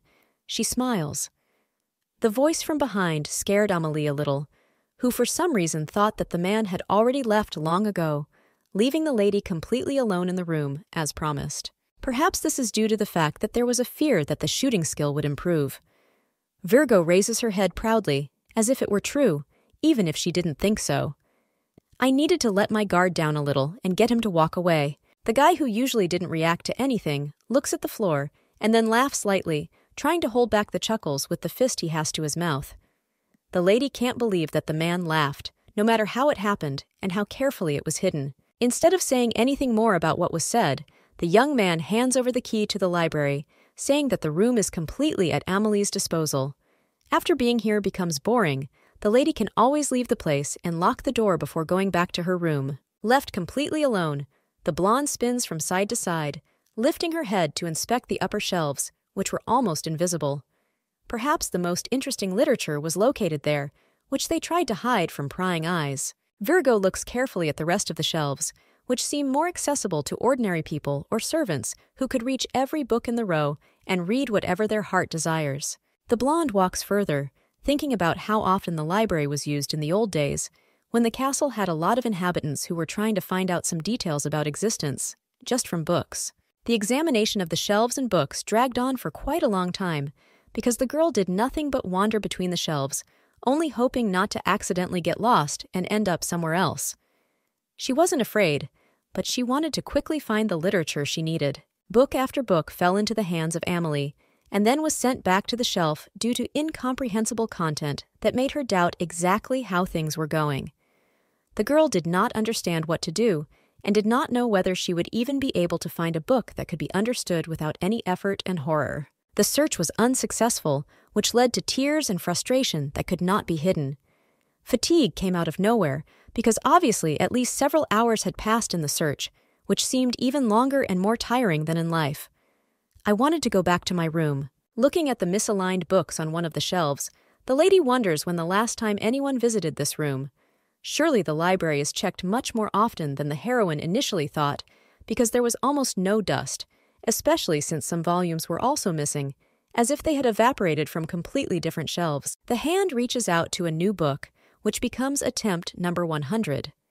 Before this, each of the volumes seemed terribly boring and poorly written, but without losing hope, the blonde is going to try her luck once again in order to finally find hope and become wiser for further learning with weapons and self defense. The book, with its blue cover, looked more like the historical events that were described on the pages. This was also not in the girl's interests, so she carefully puts the thing back on the shelf, following further along the corridor.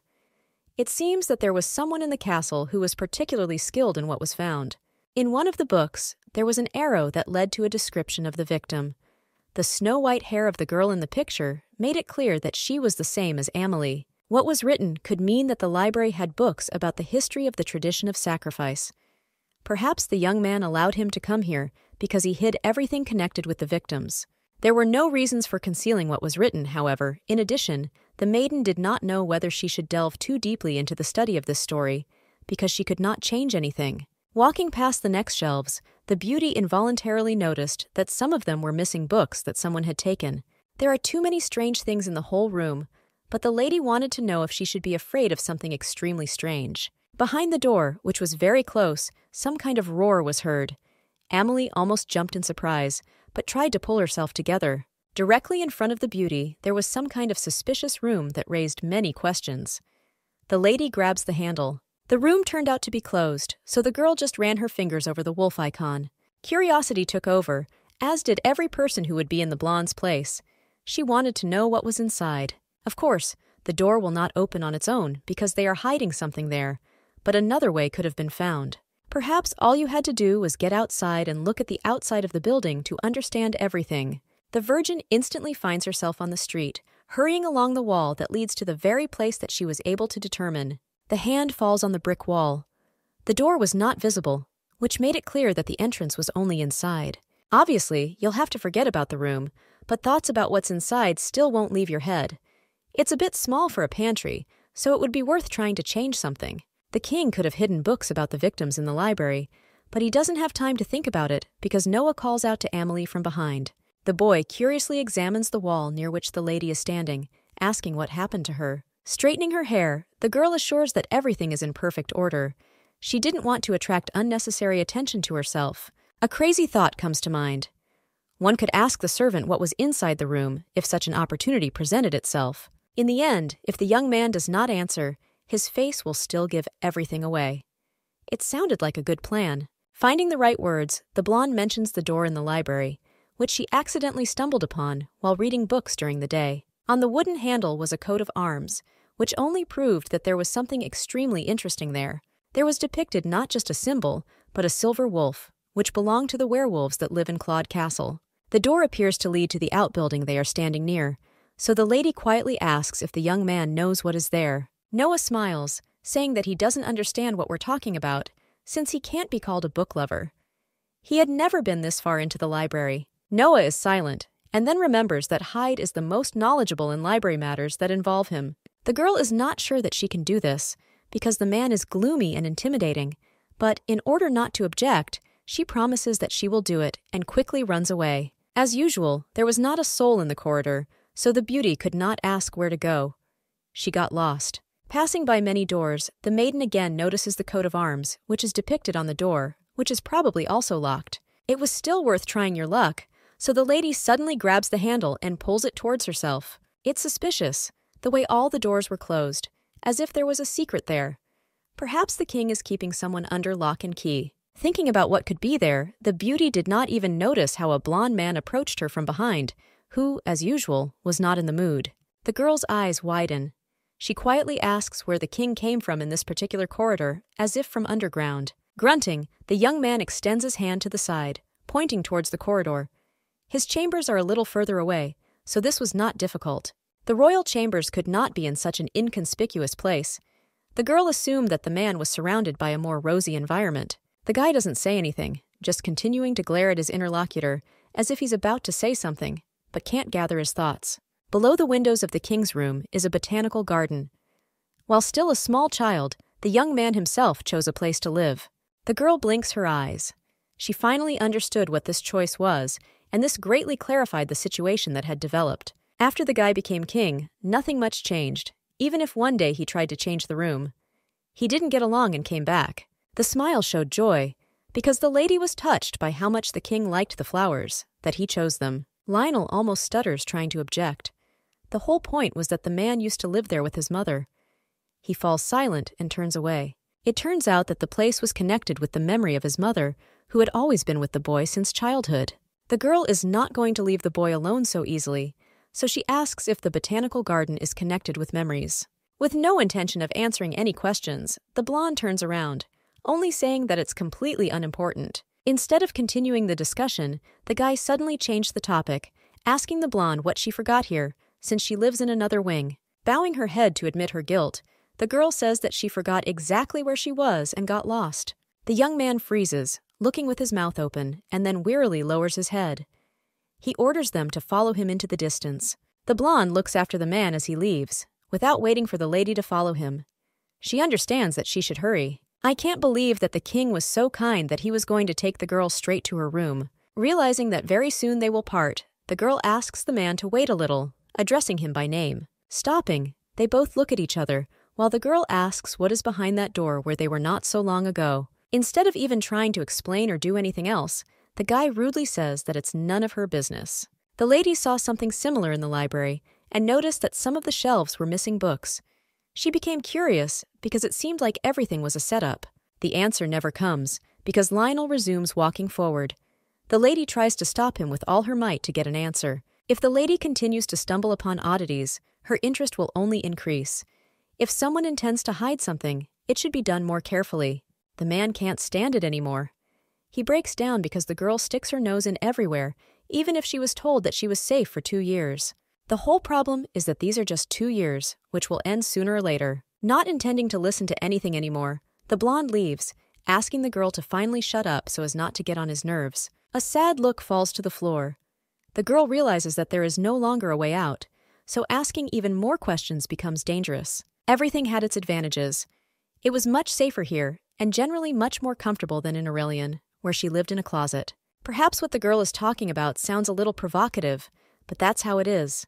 She couldn't hide the truth. Freezing, as if something had happened, the man turns and asks if the beauty eats well while she lives here. From the very beginning, the girl seemed rather skinny, but for some reason she became thinner during her stay in the castle.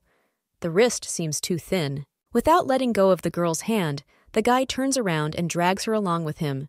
It doesn't matter what happens, because the lady is happy that they take care of her. Understanding and realizing what is happening, the blonde tries to stop so that she is not dragged further, asking where they are going. The guy is still silent. He doesn't intend to waste another minute, so he walks straight ahead. The door opens, and a table and several chairs are visible in the hall, at which you most likely need to sit to dine. The blond man walks inside, calling out to Hyde. He must give orders about what they will eat. The man asks to organize some simple meal, while the girl is surprised at how quietly the servant appeared. Pushing the chair aside, the young man pulls the lady along with him and then pushes her, hinting that she should sit down. The beauty clearly does not finish eating, as she is carried away by other extraneous thoughts.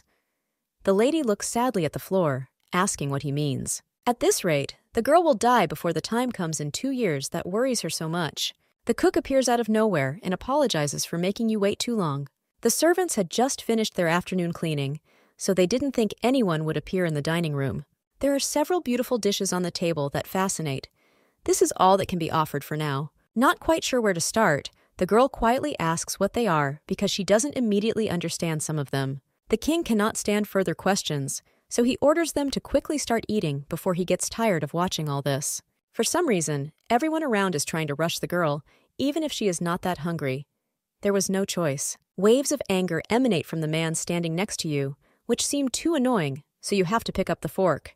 Carefully cutting off and pricking one of the pieces of the dish onto a fork, the girl puts it in her mouth and almost immediately smiles. The dish turned out to be too beautiful both to look and to taste. There is a sparkle of delight in the eyes that cannot be hidden. The blonde sighs heavily because it shows that he's finally relaxed. The man turns away, saying that until the girl eats everything, she will not leave the table. The virgin freezes in horror. There is no choice anyway, so the sooner you do it, the easier it will be later. The beauty pricks another piece of meat. Next comes the soup, which has been waiting for its turn, so the beauty takes a spoon and scoops liquid into it. Sipping the soup, the beauty once again makes sure that the dishes are simply excellent. Turning back to the king, the maiden quietly asks if he is planning to fatten her well so that he can then enjoy the food himself. The young man does not answer, but a fleeting smile slips on his face, which is almost unnoticeable. The blonde freezes. Out of surprise, the grape that was on the fork slips out, because it is impossible to believe what she saw. It seems that the vision did not appear after all, because it was true. Lionel smiled slightly. A few minutes later, the meal was completely finished.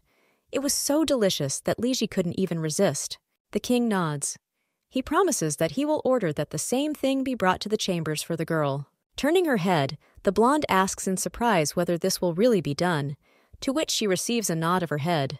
The girl noted that the food would be cold until it was brought to the room. This is not the first time this has happened. If you think about it, then everything went according to the same scenario every time. There was no escape from this. By the time the girl finished eating, the food was completely cold and did not leave the same impression. Perhaps you shouldn't bother so much, because the heroine doesn't have such a healthy appetite. The guy chuckles and asks what the change is. He noticed that what was said was a lie. Conventionally, it is written right on the king's face that the girl is obliged to eat as much as possible. Taking a sip of water, the lady shrugs. She doesn't know, but she assumes it's because she constantly has to eat alone. The decision was made in a matter of seconds. Starting from the next day, the heroine will eat in the dining room and not in the room. However, then the lady will dine at the same time as the king, since he takes care of the cook and does not want to add unnecessary trouble. Hyde was about to leave, but Lionel caught up with him to discuss the details. The girl tries to stop him, but everything is in vain. Both men turn towards the guest, their faces are somewhat similar because they both seem to be in a bad mood. What Lionel proposed seems completely absurd. No one in their right mind would ever dare to eat with a victim who is brought to the castle. The young man asks what the problem is, to which the girl tries to justify herself. She doesn't want the king to stoop to her level. What Lionel is about to do defies common sense, whatever it may be. They shouldn't try to change anything. The king does not want to hear about the contradiction from a girl who does not understand anything. This is his castle, which he himself rules. Starting tomorrow, it is decided that the blonde will eat in the cafeteria. Only Lionel himself sets the rules. Sitting in her room, the lady once again thinks about the problem that has now become urgent for her. It is almost impossible to change the course of events. Still, no matter how things were, the heroine did not remember the last time she ate in the company of another person. These were vague memories. Of course, the way things were before was not the best choice. It wasn't very comfortable, even if something had to change. Trying to get rid of the obsession, the beauty shakes her head, completely forgetting about Ilya, who steps back in surprise. The hair turned into a nest that formed on the head. The girl quietly asks the lady what is bothering her. From the very day that Elijah stood up for the girl, she began to speak more, not remaining silent. Sometimes this happened once a day, sometimes several, but even a few words were worth rejoicing at. In fact, there was something in my head. The Virgin was worried about the upcoming meal with Mr. Lionel. Judging by the silence of the acquaintance, the lady realized that it was still a little strange, which could not but lead to a stupor and excite. The girl tried to object several times, but nothing came of it. Elijah says everything is fine. The maid is relieved, as she would like the king to eat normal food and not at night. The blonde freezes and asks about what was said. It seemed to her that the king always eats to his fill, and most likely the best. Denial makes things clearer. The young man always eats in his room and only because food is brought to him. Sometimes food remains on the plates because the man has no appetite, so everything remains the same. The words of the young man come to mind that he wants to have lunch with his girlfriend. It was something new and took on new colors after what Elijah said. I didn't want to go into details, but the man obviously turned out to be a liar who couldn't even admit the obvious. Not long ago, a girl said that she does not have the healthiest appetite. She lost it only over time. The man set himself up when he asked what the problem was, even when he didn't want to. The lady only noticed that she has no one to eat with, so she usually is not able to finish her portion of food. From that very moment, the king promised that they would eat together, which led the beauty into a stupor from what she heard. She didn't expect anything like this. Now, three times a day, two people sat in the dining room, eating with concentration, trying not to be distracted by each other. One day, the beauty couldn't stand it anymore and called Lionel a liar. He said that he almost always eats here, but in the end, it turned out to be a lie. Hanging his head down, the man assures that he never said such a thing, so you shouldn't try to stop him. The heroine tries to object, but remembers the words that were spoken that very day. This was not considered a lie. It turns out that literally the young man never said anything like that, even if he promised that from now on they would eat together. The guy only clarified about the same time that was set for eating.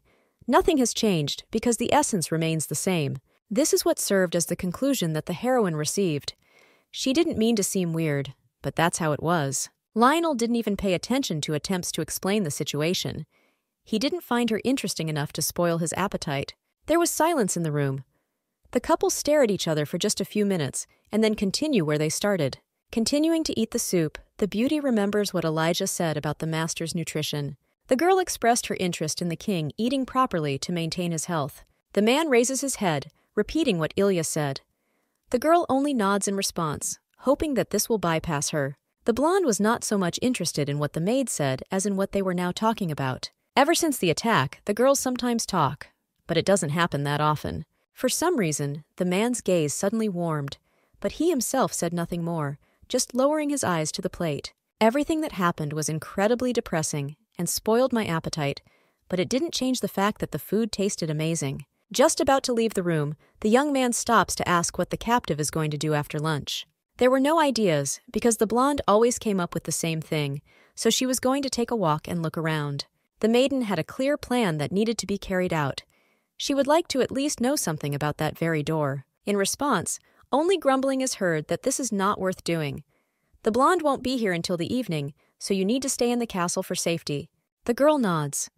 She is about to leave, but the thought that she needs to clarify the details cannot leave her. Still, without holding back, the lady asks if Lionel is going to check if more people with silver hair have appeared. The answer remains, as always, rude, especially since the man adds to all this the phrase that this does not concern the captive. The girl did not dare to obey the new owner, so she went to the towers, where she noticed horses from afar.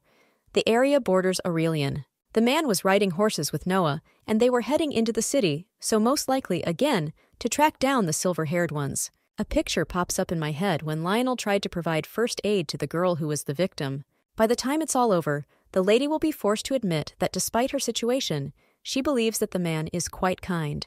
The girl did not want to fall into a trap, but she also understood that excessive hopes could be futile and vulnerable. The hands are clenched near the chest to protect the feelings of the main character. She doesn't know exactly how to behave so that nothing happens. Footsteps are heard nearby. The voice is like a prince who is standing very close, just a few steps from the victim, who is walking completely alone. This is something new. Lumiere moves closer, while the blonde tries to move as far away as possible to avoid being grabbed or harmed. There was no strength to run, especially since everything needed to be found out. The lady quietly asks the prince what he is up to. The young man does not answer. He closely observes the actions of the captive, examining her from head to toe. The next step is that the blonde holds out his palm, saying that he has come to the rescue of the beauty. The virgin is asked what she will do, but no answer is heard. The eyes widen from the hopelessness of the situation that has developed. The man did not expect such a reaction. He came here to be thrown around his neck because it is logical that the lady does not want to be eaten by the beast. It's strange that the young man intends to help, he was one of the first to try to drive the maiden away. What was done was the decision of the kingdom, and not the personal order of the youth, who is now justified. Everything that happened happened because of the father, who was not going to give a choice even to his own son, who would become king. The questions disappear by themselves. It is difficult to judge the situation, because in the relationship between children and fathers, everything is not so simple. The lady asked for help, so now the moment has come when she can take advantage of it. Help was never provided, because then in the forest, when the lady begged to save her, the guy didn't even turn his nose, remaining next to Lenoa. That day, the girl's world turned upside down because she realized how cruel Aurelian and his rulers were. Nothing happened. This was indeed the case that time, so the blonde had no right to refuse the way things went. However, the problem was completely different. Since the incident occurred, the guy has rethought a lot. He did not wish such a fate even for the victim. That incident allowed the prince to understand that he is just a cog in a huge world, which is also just someone's plan. The lady, without moving from her place, asks to explain what exactly they want to say, because she doesn't understand anything. It is difficult for her to build a logical chain. For some reason, Lumiere always considered himself a hero who was still worth looking for, but in the end, everything turned out to be completely different. The girl can't believe what she hears. She doesn't want to realize that the guy realized that these are all just actions in a book. This seems impossible because fear simply takes its toll. Before drawing conclusions, you need to try to clarify the situation. Even if a man considers himself a cog, this does not mean that he is worthless. High value is something that is given to possess anyway. The guy wasn't just born to die early. In this regard, no one has the right to complain, since they are in a better position. The heroine does not need the pompous speeches that the prince is trying to push through under the pretext of being pitied and saved. Looking at each other, the couple is silent. The heroine has no choice but to hope that they won't kill her too soon, instead of understanding the situation. Instead of a logical explanation or thoughts that fell on his shoulders, the blonde begins to laugh, as if he were told a joke. The lady asks what she said so funny, to which the young man invites her to change the fate that awaits Amelie. It is strange that she is offered such a thing, because most of the time the girl is watched by people from the castle, who closely monitor her. The guy clearly didn't take the army with him, even if there is a bad story that I don't even want to remember. The prince gave up what he could get because he no longer wants to be a puppet to be manipulated. Proximity to the crown protects security, so this decision was not entirely correct. The way the young man behaved goes beyond all limits. The prince could not invade the country with which he was at enmity, all alone to talk. The silence remains the same, without any hints. The blonde seems to be thinking about what he needs to do. In any case, no one will be worse off from the beauty's return to her homeland. Everything will fall into place and be the way it needs to be. A man can say whatever he wants, but a similar situation can cause a conflict that will be impossible to calm down even after a while. There is still a sound grain in what has been said, because King Claude is still a little scrupulous towards people with silver hair. This would apply to what would happen in the next two years, but for now, the lady was free to do whatever she wanted. In fact, there is truth because even the blonde knew about it, but no one actually knew if it was true. Noticing the concern on his interlocutor's face, the prince offers to hide his participation in order to make everything look as if the lady decided to return to Aurelian on her own initiative. The heroine had many contradictions in her head that haunted her, she didn't know what to do in order to decide to escape. If the lady remains in Claude's palace, she will receive two more years of peaceful life and luxury. But in two years, everything will end. If you listen to Lumiere and return, then the king's wrath cannot be avoided, so he can simply send the girl back to the castle. If this happens, then Lionel will most likely be colder towards the victim than he is now. The lady decides to postpone the agreement, so she asks what prompted the prince to do such an act. His words seem extremely dubious no matter how you look at them. Ultimately, no matter how much the young man wanted to change the situation, he could not go against the will of the king. Perhaps the heroine went a little too far, so the guy opposite lowered his eyes to the floor. They stand opposite each other, trying to figure out what should be done next, despite the fact that everything is already clear to the girl. It's sad to realize that there is still no way out, and no matter how much the heroine wants to escape, she will not be able to live a normal life. Lumiere seems to be quite serious. If he becomes king, then perhaps the lady will listen to his words and return. This is hard to believe, because the guy was supposed to become king after the sacrifice of the main character. In the original story, everything was exactly like this. The girl does not want to scare anyone or put pressure on the choice they need to make, but tries to explain the situation they are in. By the time this miracle happens, the woman will most likely have left the world in which they find themselves. There is no answer, because obviously the young man is upset. He only says that he was away only for one day. Soon the blonde will return back, so the lady just has to wait a little to finally go home. Memories of my younger sister pop up in my head. In addition to all this, a young man can create problems for himself even in his love life, so this should not be done. The hero bursts out laughing again. It will be quite difficult for Lenoa to cope with such an extravagant spouse. If you think about that very sweet person who is your future wife, the prince may notice that they have not seen each other for a very long time. The girl wants to ask if this is true, however. Turning around, she does not see anyone nearby. She can't tell if she misheard or not, because if they haven't seen each other for so long, it's already a problem. The girl approaches the edge of the tower. The man appeared out of nowhere and then suddenly disappeared. The question arises as to how he even found his way here. Walking back, the blonde thoughtfully examines her shoes. She would like to know much more. What was much more interesting was that Lumiere had not seen Lenoa for a long time, although this did not in any way affect the way he behaved. What was heard only meant that the original plot of the book had changed dramatically, thereby changing everything around. Lumiere managed to escape surveillance and get into Castle Claude, which made him even more surprised. In addition, the guy came to the estate to help the beauty, which already gave rise to a million questions. This should never have happened. Initially, the blonde was needed only for the sacrifice, because she was only a background character. If the plot of the book changed, then even the importance of the girl underwent changes that were lost in its style. The beauty couldn't believe that the main character himself was interfering in her fate, who usually wouldn't even pay attention to her. Perhaps the envisioned future will also be completely different. No one knows this, despite how things have changed. There should have been no hindrances or changes in the book's aspiration from the start, but they appeared as if out of nowhere.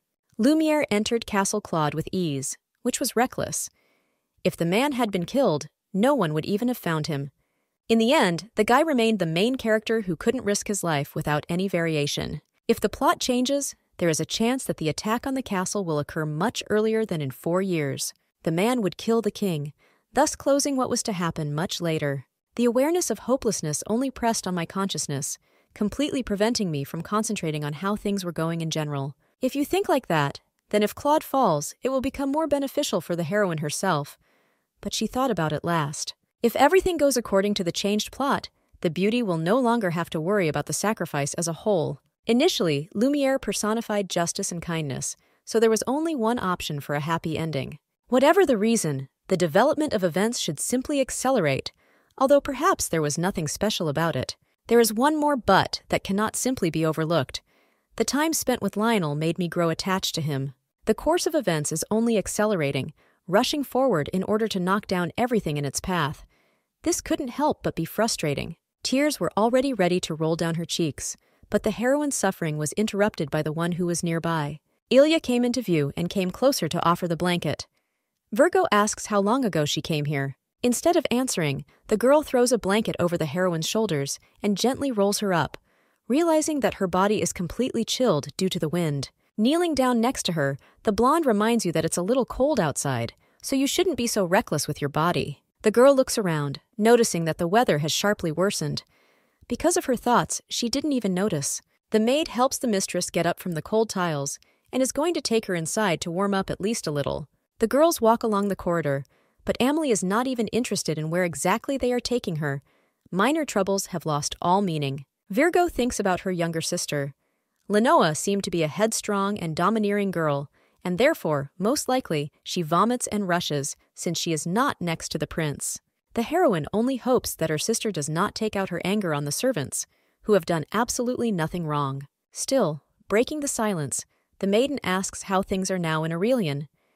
Some news should have come from there. It will be difficult to talk about this, so the blonde recommends asking Hyde, who knows much more, about this. The man is in charge of intelligence and from time to time reports the situation to Mr. Lionel. It seems that the king's entourage is monitoring situations concerning the silver haired people who live in Aurelian all alone. It would have been interesting to know at least something about how intelligence penetrates into the neighboring kingdom, but this was not given. The problem was Hyde, who was a gloomy guy without any friendly disposition. The decision was made very quickly, so the heroine quickly changed clothes and followed along the corridor to the office. Despite the problems in her head that made the young man afraid, the girl still proceeded to the room to get answers. Raising her hand, the maiden lightly knocks on the oak door, which turned out to be unlocked. The man asks what Amelie needed. There was no greeting, so the beauty only says that she would like to know how things are in Aurelian. The blonde silently looks at the heroine, who wanted to add something else, but it seems she just changed her mind. Hyde didn't know that the lady was interested in politics because she had never shown even an iota of interest before. Be that as it may, it is better to let the interlocutor think so, so the lady decisively says, Yes. Pointing to the office, the man asked to come with him so they can talk. While in the office, the heroine carefully straightened her dress and sat down on one of the chairs. Tea was placed in front of her. The man poured himself a drink, and then, following suit, also sat down on the sofa opposite. Opening the book, the guy gets down to business. That year, valuable ore was discovered in the area of Mount Reno, which is located on the border of Aurelian. Due to friction over the ownership of them, relations between the two countries only worsened, so the situation worsened. This territory is most likely captured by the Aurelians in the last war. In recent years, there have been active negotiations regarding the return of the property, but this is not what Amelie is interested in. She asks him to stop.